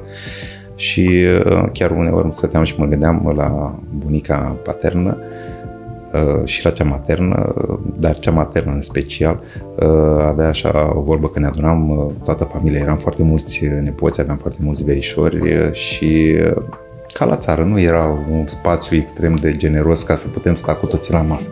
Și avea o vorbă, spunea că noi o invitam și pe ea la masă și spunea nu mâncați voi, când vă văd pe voi mâncând, mă bucur și eu și ca și cum aș mânca și eu. Da, era era un lucru extraordinar și o țin minte foarte mult, pentru că ambii Uh, bunici paterni și materni m-au iubit foarte mult și pentru faptul că eram printre primii nepoți și pentru faptul că atunci când mă duceam uh, în copilărie, majoritatea vacanțelor mi le-am petrecut la țară și nu mă duceam doar să mă joc, chiar îi și ajutam la... Dar unde ați stat în, uh, ați stat în Focșani? Până la 5 ani am stat în Mărășești, eu acolo m-am născut, iar la 5 ani părinții s-au mutat aici în Focșani. Aici am făcut uh, școala, uh-huh. am mhm. făcut uh, clasele 1, întâia și a doua la școala numărul 10, apoi s-a deschis școala numărul 9 și ne-am mutat cu toată clasa la școala numărul 9 și apoi liceul Cuza, Colegiul Național Alexandru Ioan Cuza. Și apoi Facultatea de Științe Economice din Iași. Și uh, era un lucru frumos. Da, copilăria e un lucru minunat și un lucru de care cred că toți ne amintim cu plăcere din păcate, ceea ce vedem că se întâmplă astăzi nu este tocmai bucurător, ceea ce se întâmplă în rândul unor tineri, mai ales uh, această, acest flagel cu care ne luptăm și ca autorități publice locale și ca părinți și ca uh, cetățeni din municipiu și nu numai din România, consumurile de droguri. Asta este extraordinar de greu de combătut uh, și încercăm pe toate căile să conștientizăm efectele negative ale acestui uh, flagel. copiii ar trebui să înțeleagă foarte mult că este extrem de grav ce, ce se întâmplă și vedem cu ochii noștri că de cel mai multe ori uh, știrile de la canalele media sunt invadate de aceste tipuri, aceste exemple negative și ar trebui să ne unim forțele și să putem să facem în așa fel încât să limităm pe cât mai mult posibil efectele acestui uh, consum de drog. Vedem ce se întâmplă mai ales și în rândul tinerilor, uh, probabil și noi ca părinți avem, uh, să spunem, o vină. Venim dintr-o perioadă, mai ales noi cei care am trăit și în perioada comunismului, venim dintr-o perioadă în care noi am fost, să spunem așa, mai constrânși. Erau mai stricți părinții, mai stricți da. erau da. părinții și acum, dintr-o dată, văzându-ne în libertate, am zis să oferim copilor tot ceea ce este mai bun, dar câteodată nu este și chiar... prea multă libertate. Și prea multă libertate da, strică da. și înțeleasă uneori greșit. Și de aceea îmi pare rău pentru ce nu văd, uh, mai ales că noi acum suntem, uh, cel puțin generația actuală din ce văd, e generația care s-a învățat cu uh, McDrive. Adică să meargă, să, dacă se poate, să primească totul uh, că se poate de facil. Uh, eu mi-aduc aminte, mergeam la școală, fie iarnă, fie vară, fie ploaie, fie vânt, mergeam uh, pe jos. Niciodată nu m-au da, dus părinții mei da. cu mașina la, la școală. Ceea ce se întâmplă acum este, din punctul meu de vedere, nu prea benefic pentru copii, Fetițele mele, spre exemplu, merg de cel mai multe ori cu autobuzul la școală, se duc și cu autobuzul se întorc, ceea ce pentru mine este o normalitate. Le-am spus că trebuie să învețe, trebuie să se descurce în viață. Exact. Uh, și atunci când le oferi prea multe bucurii și prea multe facilități fără a primi din partea lor, să spunem așa, nu o compensare sau o compensație materială sau de altă natură, ci doar să vedem așa, să avem o satisfacție că ei conștientizează ceea ce li se oferă Spre exemplu, vorbeam de părinții mei. Da, v-am spus că după ce am terminat facultatea, șase luni de zile am lucrat uh, în cadrul societății cunoscute de tatăl meu. Dar uh, aveam un salariu modest. Adică nu eram... Trebuia să dovediți trebuia că să puteți să faceți. Și da. faptul că întotdeauna el a considerat că nu trebuie să-mi ofere mai mult decât am nevoie, m-a ajutat foarte mult în viață și m-a ajutat uh, și mulțumesc încă o dată pentru că a avut la un moment dat uh, la momentul respectiv uh, îl criticam și înțelegeam greșit lucrurile pentru că era poate puțin mai dur, poate puțin mai exigent cu mine și atunci nu înțelegeam de fapt realitatea așa cum o percep acum și credeam că totul mi se cuvine. Dar în același timp a fost, a fost bine. Am văzut pe site-ul primăriei la CV-ul dumneavoastră acolo că sunteți uh, membru al Asociației Județene a Vânătorilor, hmm. nu? Uh, vă relaxează să mergeți la vânătoare? Da, este o activitate nu prea iubită de foarte mulți, dar cei care o iubesc și o înțeleg uh, își dau seama că de fapt este o, spunem așa, o comuniune cu natura. Nu neapărat uh, acum trebuie să sacrifici uh, niște animale ca să poți să mergi în natură, dar uh, e un motiv de relaxare, e un mod de relaxare, de socializare.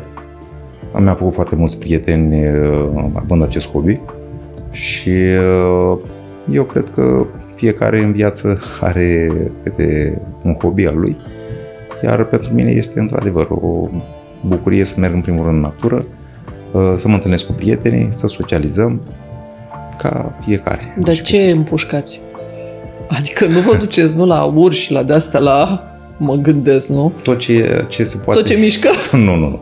Uh, obținem autorizații, nu mergem fără Da, bun, nu, nu la asta mă gândesc. Și nu, uh, normal. mergem uh, doar în, uh, la vânături organizate, în special uh, Uh, mergem la vânat mic și vânat uh-huh. mare uneori. Uh, în ultima perioadă și aici ne-am confruntat cu niște probleme din cauza pesticidelor, spre exemplu, populația de iepuri uh, sălbatici a scăzut drastic în județul Vrancea și nu numai, pe aproape tot teritoriul României, puțin în partea de vest am înțeles că au început să refacă efectivele.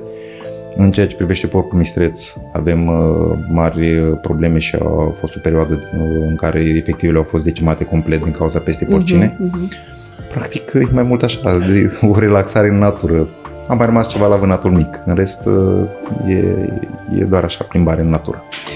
Vreau să ajungem la ultimul capitol dedicat sportului, pentru că știu că sunteți interesat și multă lume este interesată de fenomenul ăsta sportiv, eu deloc, nu practic din păcate, dar văd că este foarte mare interes. Sala polivalentă e plină la meciurile echipei de handbal și v-am auzit într-un interviu spunând că ați făcut judo când erați da. mic. Am da? făcut în clasa a doua, am făcut judo. Din păcate am făcut o pneumonie și uh, părinții nu mi-au mai dat voie să continui. Dar v-a plăcut sportul, nu? Mi-a plăcut totdeauna. foarte mult sportul, uh-huh. iar în timpul liber, uh, când eram uh, și la școală și în facultate, am făcut sport, nu de performanță, dar în vacanțe, cel puțin de dimineață până seara, când eram copil, băteam mingea și veneam așa cu forța adus în casă uneori că mi-a plăcut mișcarea și acum în continuare, când am timp, fac mișcare, mai ales chiar și activitatea aceasta uh, vânătoarea implică foarte multă mișcare. Și vă văd uh, destul de des la meciurile, și la handbal, și la fotbal. Da, e o activitate pe care am apreciat-o întotdeauna și am considerat că acel principiu, un leu investit în în sport înseamnă o economie de 3 lei în sănătate, se aplică foarte mult și mai ales și în contextul despre care vorbeam mai devreme cu aceste uh, activități mai puțin uh, bune ale tinerilor, consider că este o variantă prin care să le oferim uh-huh. o alternativă să-și ocupe timpul liber și să se dezvolte ca oameni. Și de aceea am venit uh, încă din 2016 cu ideea de a susține cât mai mult tot ce înseamnă sport, Iată că în acest moment avem uh, foarte multe secții în cadrul Clubului Sportiv Municipal 2007 Focșani, pe care le susținem din, din bugetul Consiliului Local.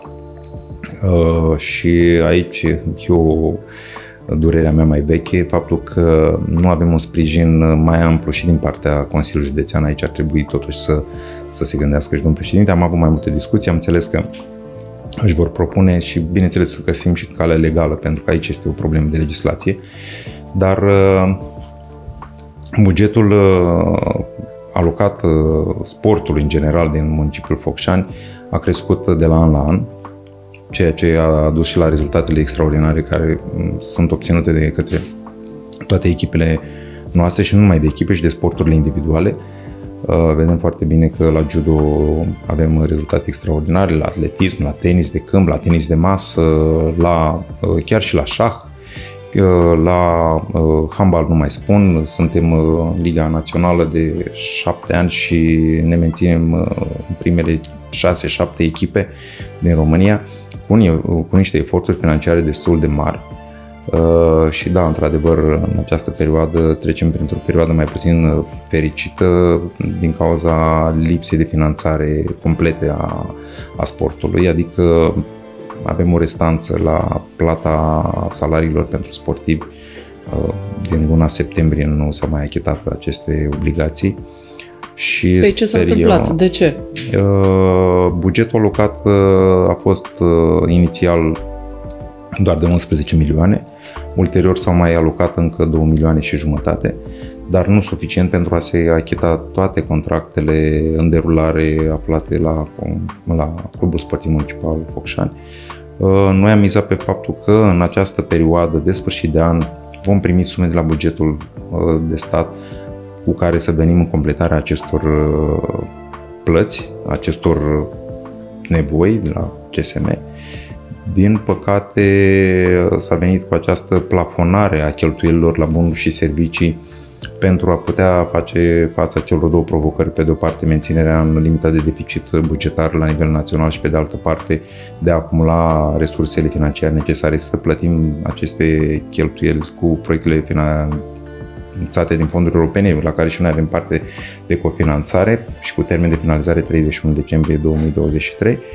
Și uh, iată că am ajuns într-o situație mai puțin fericită, dar sper eu să o trecem uh, și să găsim soluții veți găsi, că știu că chiar asta era una dintre noi am alocat, că... Noi am alocat, uh, pentru că am primit uh, de la bugetul uh, național, am primit 5 milioane 500 de mii de lei.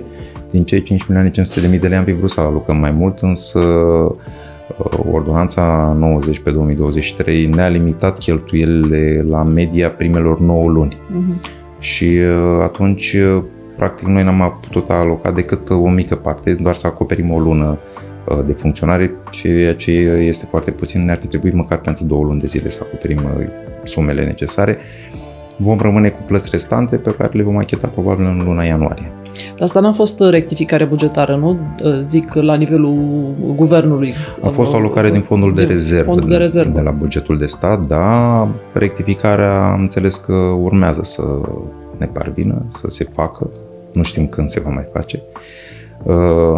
Uh, mi-e teamă să nu fie o rectificare negativă în contextul actual, dar în orice caz, în ultimele discuții avute la nivel de partid și la nivel de guvern am văzut că deja este în dezbatere publică bugetul național pentru anul 2024 și sperăm noi ca până la sfârșitul acestei uh, perioade de activitate parlamentară să avem și bugetul aprobat pentru 2024, pentru că anul 2024 este un an extrem de încărcat și așteptăm uh, nerăbdare să aprobe pentru a putea să ne gestionăm și noi și a ne face planurile pentru anul viitor și să ne gestionăm uh, proiectele. Am văzut la un moment dat, erați nemulțumit de rezultatele de la fotbal. S-au mai schimbat lucrurile între timp? Uh, da, ce să spun. Uh, din punctul meu de vedere, nu este ceea ce mi-aș fi dorit să se întâmple la fotbal.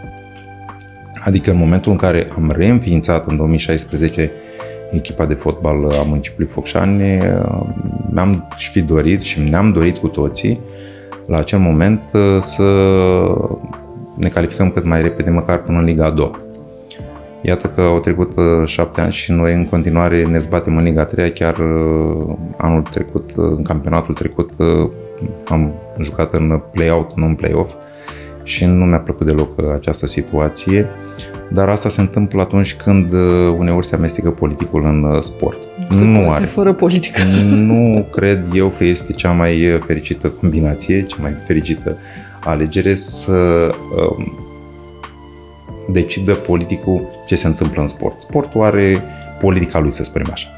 Și mi-aș fi dorit, eu cel puțin, și o spun răspicat, nu am intervenit niciodată în deciziile luate de clubul sportiv municipal în ceea ce privește alegerea strategiilor, alegerea jucătorilor, alegerea antrenorilor sau președinților. Pentru că eu am spus așa, în momentul în care eu mă implic, atunci rezultatele vor fi mie imputate. Bune, rele vor fi decontate, mai ales cele rele. Ceea ce se și întâmplă și acum. Uh, neperformanța echipei de fotbal de a nu se califica în, măcar în Liga a doua este probabil uh, imputabilă, deși eu nu am uh, intervenit, din potrivă, am susținut pe cât am putut acest sport, care este cel mai iubit la acest moment la nivel de mapa mond, aș putea spune, dar cred că ar fi trebuit o mai multă coeziune în jurul echipei, dar din păcate Uh, sunt probabil uh, mai mulți care cred că se pricep la fotbal și au vrut să-și arate maestria și din păcate au ajuns la alte rezultate. Dar are primăria bă, vreo posibilitate în ceea ce privește stadioanele să fie, cel puțin stadionul tineretului? Se vorbea la un moment dat că va fi modernizat, mai știți ceva ce se întâmplă? Da, cele două stadioane din municipiul Focșani, atât uh, stadionul Milcov cât și stadionul tineretului, sunt în proprietate Consiliului Județean. Uh-huh. Încă din 2017, domnul președinte Marian Opișan a reușit să obțină o promisiune din partea guvernului de la acea vreme să uh, obțină finanțare prin Compania Națională de Investiții pentru modernizarea celor două stadioane. Și în acest moment, dacă ne uităm pe site-ul CNI, acestea apar pe lista de priorități, pe lista sinteză. Și cam atât. Uh, din păcate, sunt niște investiții foarte mari pentru a putea să realizeze un asemenea stadion uh, e necesar o sumă consistentă, undeva la 20-30 de milioane de euro pentru a face ceva uh, frumos. Uh, Compania Națională de Investiții a avut alte priorități. Ne-am pregătit pentru campionatul european 2020 și s-au finalizat cele patru stadioane la nivel uh, mhm. național și uh, am avut promisiuni la acea vreme că vom avea finanțare și noi. Din păcate, nu am obținut ceea ce ne-am dorit. Încă sperăm, încă tragem speranțe, deși nici nu avem cum, asta este de fapt nemulțumirea mea, nu avem cum să solicităm atât timp cât avem o echipă de Liga 3. Dacă am avea o echipă de Liga 2, cel puțin am avea mai multe uh, motive să mergem să cerem guvernului finanțare și să spunem că e necesar o asemenea investiție. Din bugetul municipiului Focșani este aproape imposibil da, să finanțăm o asemenea lucrare pentru că ar trebui să renunțăm la multe altele din municipiu, la străzi, la școli, la da, în sala polivalentă sala e polivalentă, nevoie de ceva Bineînțeles, acolo? și în sala polivalentă sunt multe de făcut. Uh, este și neîncăpătoare, nu știu dacă mai corespunde din punct de vedere al anumitor normative. Uh, sala este în proprietatea Ministerului uh, Tineret și Sportului și eu încă din 2017 împreună cu Consiliul Local la acea vreme am hotărât să o preluăm în administrarea primăriei municipiului Focșani pentru că aveam oportunități de finanțare prin proiectele din Uniunea Europeană, finanțate din Uniunea Europeană și din păcate nu s-a întâmplat acest transfer a rămas în continuare în gestiunea acestui minister și iată că nu prea au suficiente resurse să investească în toate sările polivalente pe care le au în gestiune din, de la nivel național. Acum există o, un proiect de act normativ prin care toate aceste baze sportive ale Ministerului să fie transferate în proprietatea consiliilor județene sau a primărilor municipii de județ. Dar Vom vedea ce se va întâmpla. În orice caz, cred eu că la nivelul municipiului Focșani, mai ales la cum se derulează în acest moment lucrurile în ceea ce privește echipa de handbal, echipa de volei feminin, echipa de basket masculin, cred că am avea nevoie de o sală mult mai mare și mult mai primitoare. Și pe asta ar trebui să o construiască cine? guvernul? În mod normal sau... ar trebui să o construim noi, municipalitatea împreună cu Consiliul Județean sau, dacă nu, să vină la fel un proiect uh, finanțat din companie, de către Compania uh-huh. Națională de Investiții prin Ministerul Dezvoltării, așa cum s-a întâmplat cu bazinul de not, care, iată, este o investiție foarte frumoasă și da. Uh, benefică pentru toți tinerii din, uh, din municipiu. Deși să știți că sunt niște costuri extraordinare pentru întreținere, dar se merită. Apropo de bazinul de not, știți că pe vremuri uh, era, era un strand era acolo. Strandul, da, da, unde și... am petrecut mult timp din copilărie. Exact. Da. și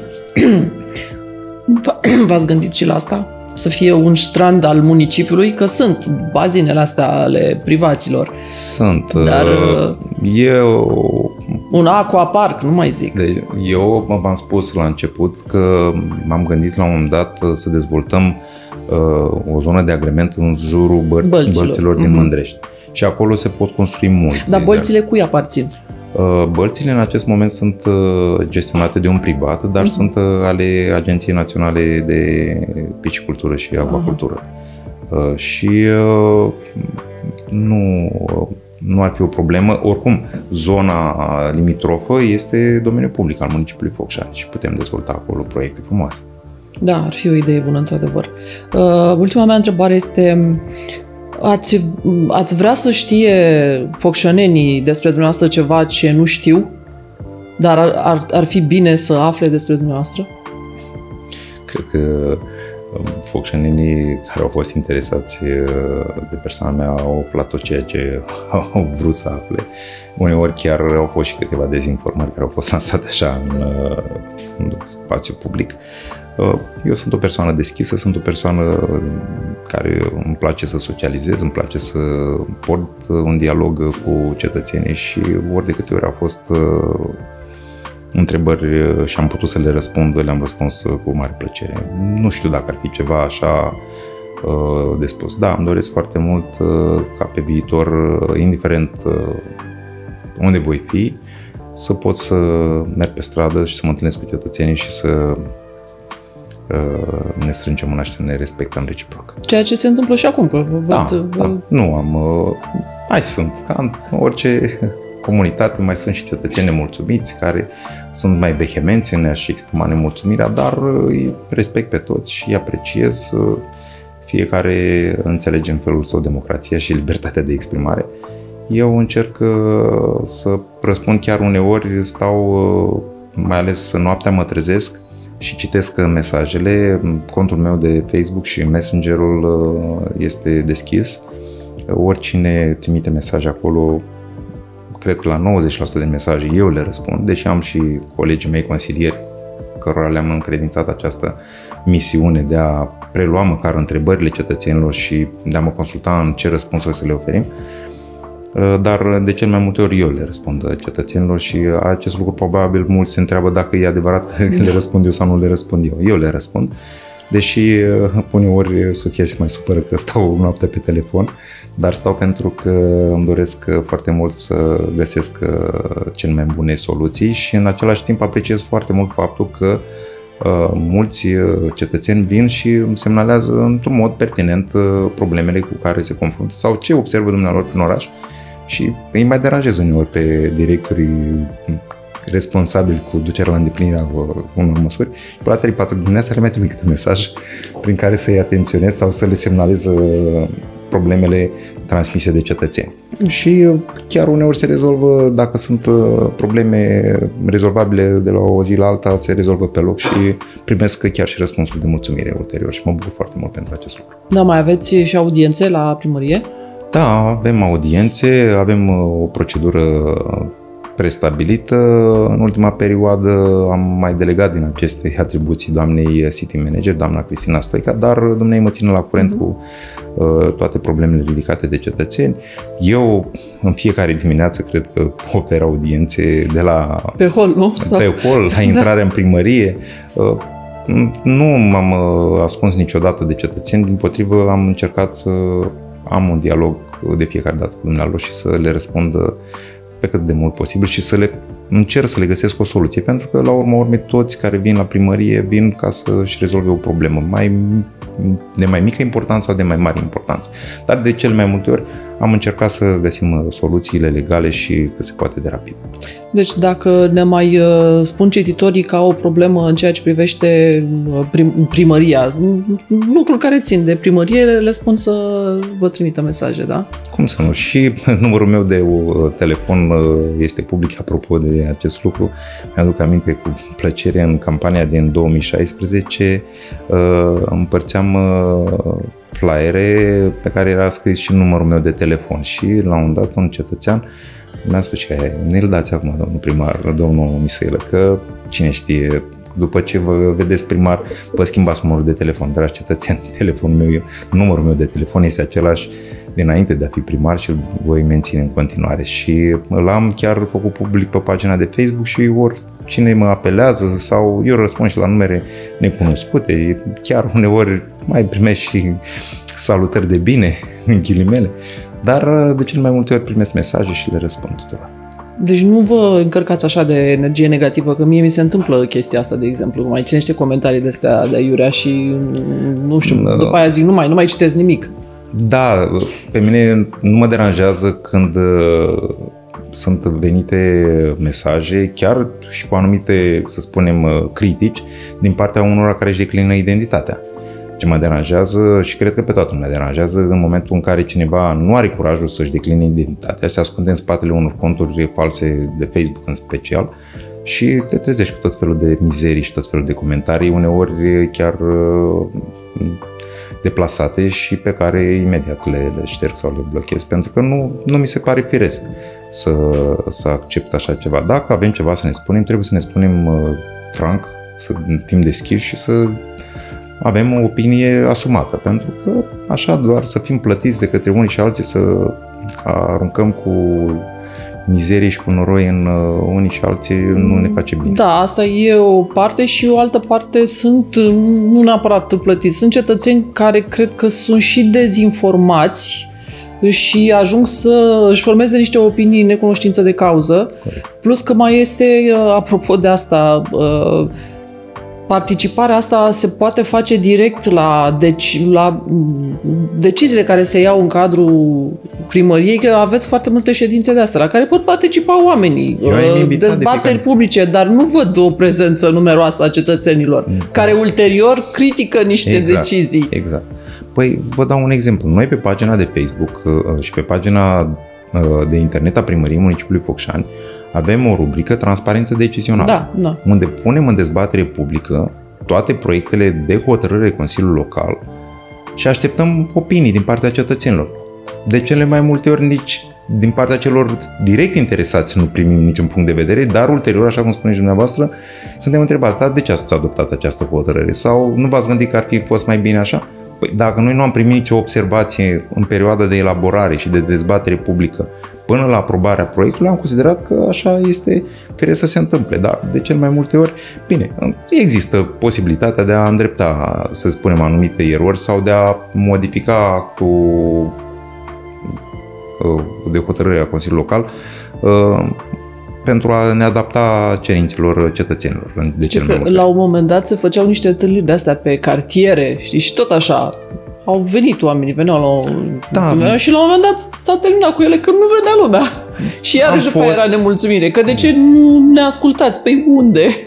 Am fost de foarte multe ori și merg pe stradă, mă întâlnesc cu cetățenii, discutăm, am încercat să facem uh, tot felul de întâlniri, dar vă spun sincer că la fel au fost situații în care uh, am ajuns să spun, mă întâlnesc nu cu foarte mulți, pentru că nu veneau, așa cum spuneți dumneavoastră, nu veneau foarte mulți, din vari motive, fie programul nu le, nu le permitea sau din cauza că probabil nu prezenta interes o întâlnire cu primarul, deși cred că păi. ar, fi, ar fi fost uh, benefică pentru ambele părți o asemenea întâlnire. Dar uh, am avut și surpriza neplăcută ca la aceste întâlniri să apară tot felul de uh, perturbatori așa, care să vină să facă tot felul de afirmații care nu prea și aveau locul sau probabil niște critici care nu aveau legătură cu subiectele pe care noi le discutam și automat cetățenii uneori încercau să, preferau să se retragă și să discute da, uh, da. tet-a-tet cu mine anumite probleme și probabil și din cauza aceasta, pentru că sunt foarte multe uh, răutăți, să spunem așa, în lumea politică, deși eu am spus foarte clar, uh, politica trebuie făcută doar în campanie electorală, în rest ar trebui făcută politica cetățeanului, ca și administrație publică locală și indiferent de culoarea politică, eu n-am ținut cont niciodată și n-am întrebat pe nimeni. Când a venit la mine în audiență sau cu o anumită problemă, să-l întreb înainte cu cine a votat ar fi fost nepotrivit să fac acest lucru. Eu am încercat să ajut pe toată lumea, n-am ținut cont de opțiunile politice a celui cu care stau de vorbă. Domnul primar, vă doresc sărbători fericite și să avem uh, un an 2024 cu atâtea alegeri liniștit. Asta ne dorim cu toți, în primul rând, să avem pace. Pentru că vedem, uh, din păcate, ce se întâmplă la granițele României în Ucraina și nu este deloc o fericire și sperăm noi să avem pace, liniște și doresc tuturor focșenilor, vrâncenilor și românilor să aibă sărbători uh, binecuvântate, în primul rând, și alături de cei dragi. Uh, butonul de like, butonul de subscribe. Uh, ce mai e, Cristi? Ce buton mai e?